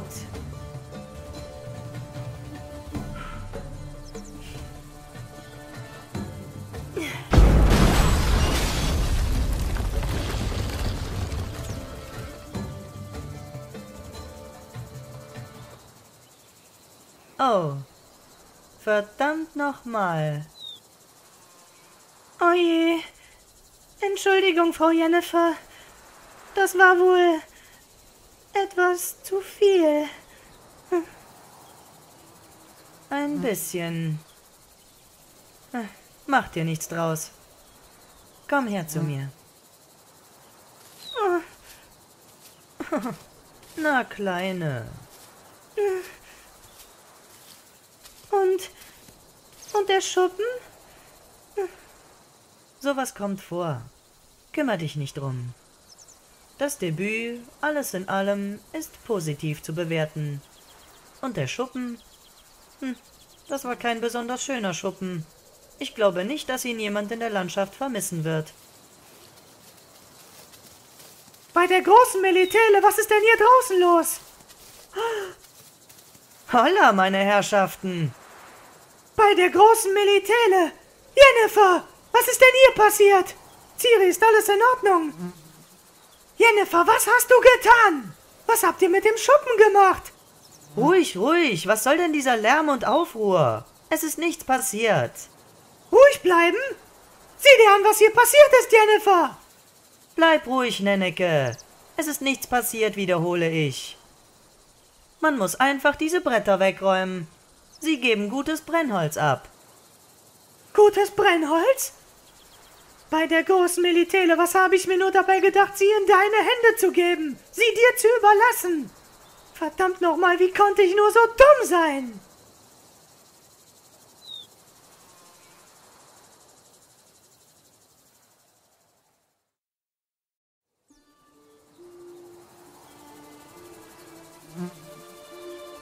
Während der warmen, windstillen Nachmittage füllte sich die Luft mit dem Duft von Blumen und Gräsern verströmte Ruhe und Stille, die vom Summen der Bienen und großer Käfer unterbrochen wurde. An solchen Nachmittagen trug Jennifer Nennekes Korbsessel in den Garten, setzte sich hinein, die Beine weit nach vorn gestreckt. Stundenlang studierte sie Bücher, stundenlang las sie Briefe, die sie durch sonderbare Boten erhielt, zumeist Vögel. Manchmal saß sie nur da und schaute in die Ferne. Mit einer Hand fuhr sie sich gedankenverloren durch die schwarzen glänzenden Locken. Mit der anderen strich sie Ciri über den Kopf, die im Grase saß, an den warmen, festen Schenkel der Zauberin geschmiegt. Frau Jennifer? Ja, Eulchen? Sag mir, kann man mit Hilfe von Magie alles tun? Nein. Aber vieles, nicht wahr? Ja. Die Zauberin schloss für einen Moment die Augen, berührte mit den Fingern die Lider. Sehr viel. Etwas richtig Großes? Etwas Schreckliches? Etwas sehr Schreckliches? Manchmal schrecklicher, als man möchte. Hm. Und werde ich? Wann werde ich so etwas machen können? Ich weiß nicht. Vielleicht niemals. Hoffentlich wirst du es niemals müssen.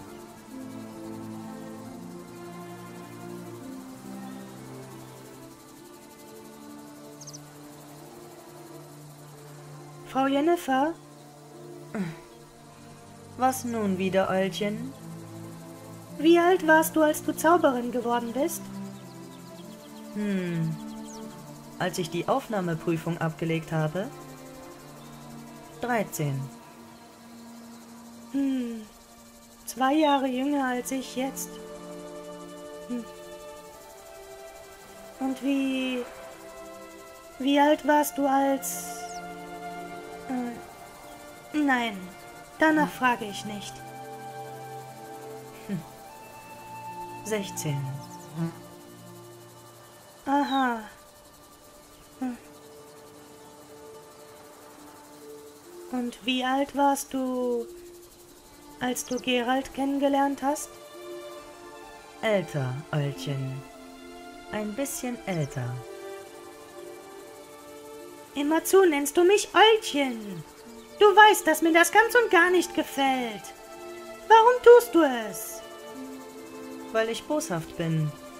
Zauberinnen sind immer boshaft.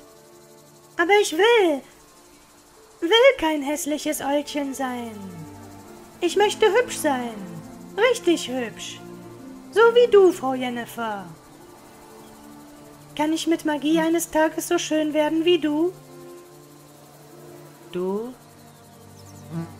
brauchst das zum Glück nicht. Du brauchst dazu keine Magie. Hm. Du weißt gar nicht, was das für ein Glück ist. Aber ich möchte wirklich hübsch sein. Du bist wirklich hübsch. Ein wirklich hübsches Eulchen. Mein hübsches Eulchen. Och, Frau Jennifer. Ciri, du machst mir einen blauen Fleck am Bein.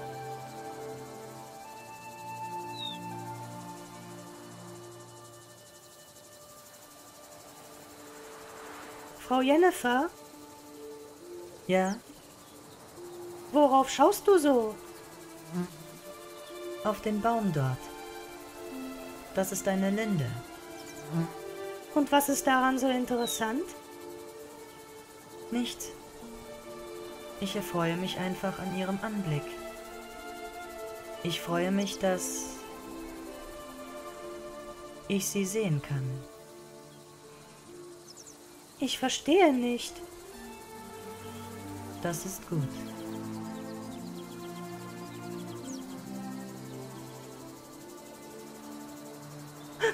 Frau Jennifer, Ah, Was denn nun wieder?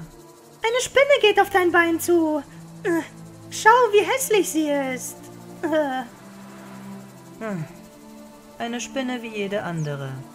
Mach sie tot. Ich habe keine Lust, mich zu bücken. Dann töte sie mit einem Zauberspruch. Auf dem Gelände des Tempels der Melitele? Damit Nenneke uns beide in hohem Bogen hinauswirft? Nein, danke. Und jetzt sei still. Ich will nachdenken. Und worüber denkst du so angestrengt nach? Hm, schon gut. Ich bin schon still. Ciri, welch eine Überraschung! Ich habe schon gefürchtet, du würdest mir eine von deinen unvergleichlichen Fragen stellen. Warum nicht? Ich mag deine unvergleichlichen Antworten. Du wirst dreist, Eilchen. Ich bin eine Zauberin. Zauberinnen sind boshaft und dreist.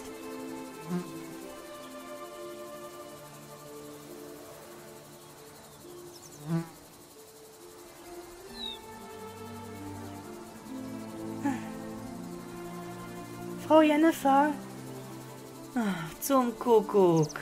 Was denn nun schon wieder? warum... Warum ist Gerald so lange... Warum kommt er nicht? Er hat mich hier immer besucht. Warum jetzt nicht mehr? Er hat dich sicherlich vergessen, Eulchen. Hat ein hübscheres Mädchen gefunden. Och nein! Na, Ich weiß, dass er mich nicht vergessen hat. Konnte er gar nicht. Das weiß ich. Ich weiß es ganz bestimmt, Frau Jennifer. Gut, dass du das weißt. Hm. Bist ein glückliches Eulchen.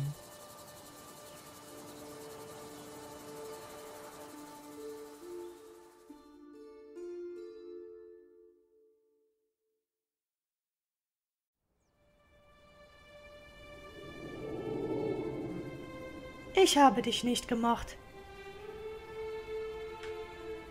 Jennifer schaute sie nicht an, stand weiter mit dem Rücken zu ihr am Fenster und schaute zu den im Osten dunkelnden Anhöhen hin. Über den Höhen war der Himmel schwarz von Krähen und Rabenschwärmen. Gleich wird sie fragen, warum ich sie nicht mochte. dachte Ciri.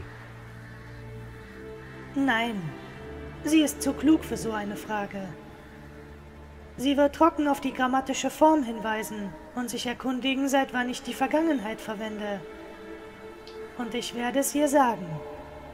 Ich werde ebenso trocken wie sie sein, werde ihren Tonfall parodieren. Sie soll wissen, dass ich auch Kälte, Gefühllosigkeit und Gleichgültigkeit vortäuschen kann, als schämte ich mich der Gefühle und Emotionen. Alles werde ich ihr sagen. Ich will, ich muss ihr alles erzählen. Ich will, dass sie alles weiß, noch ehe wir den Tempel der Melitele verlassen.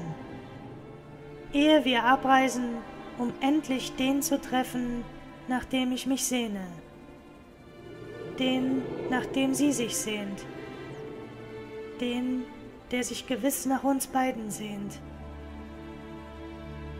Ich will ihr sagen, dass... Ich werde es ihr sagen. Sie braucht nur zu fragen.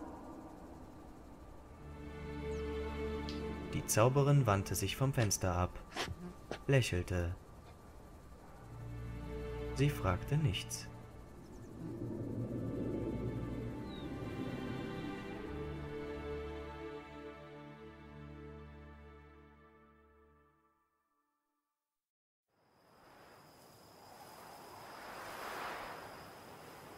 Tags darauf ritten sie los, früh am Morgen, beide in Reisekleidung für Männer, mit Mänteln, Mützen und Kapuzen, die die Haare verbargen, beide bewaffnet.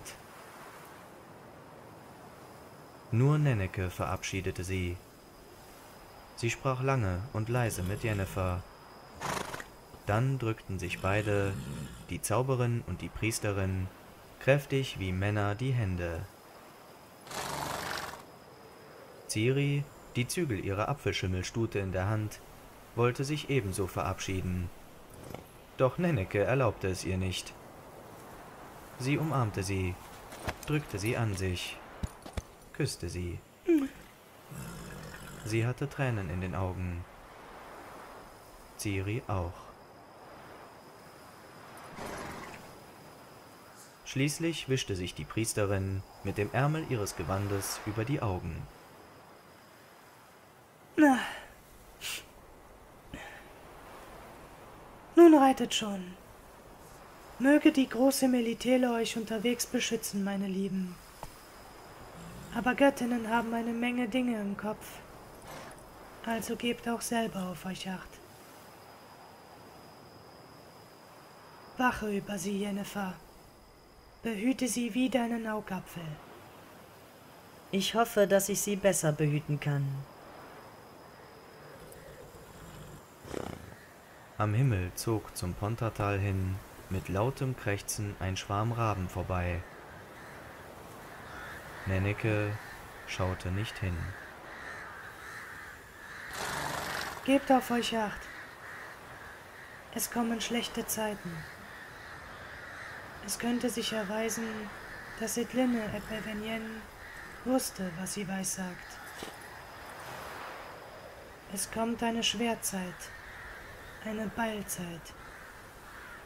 Die Zeit der Verachtung und der Wolfsstürme. Gib auf sie acht, Jennifer. Erlaube niemandem, ihr ein Leid zu tun. Ciri sprang in den Sattel. Ich komme wieder, Mutter. Ich komme bestimmt wieder. Bald.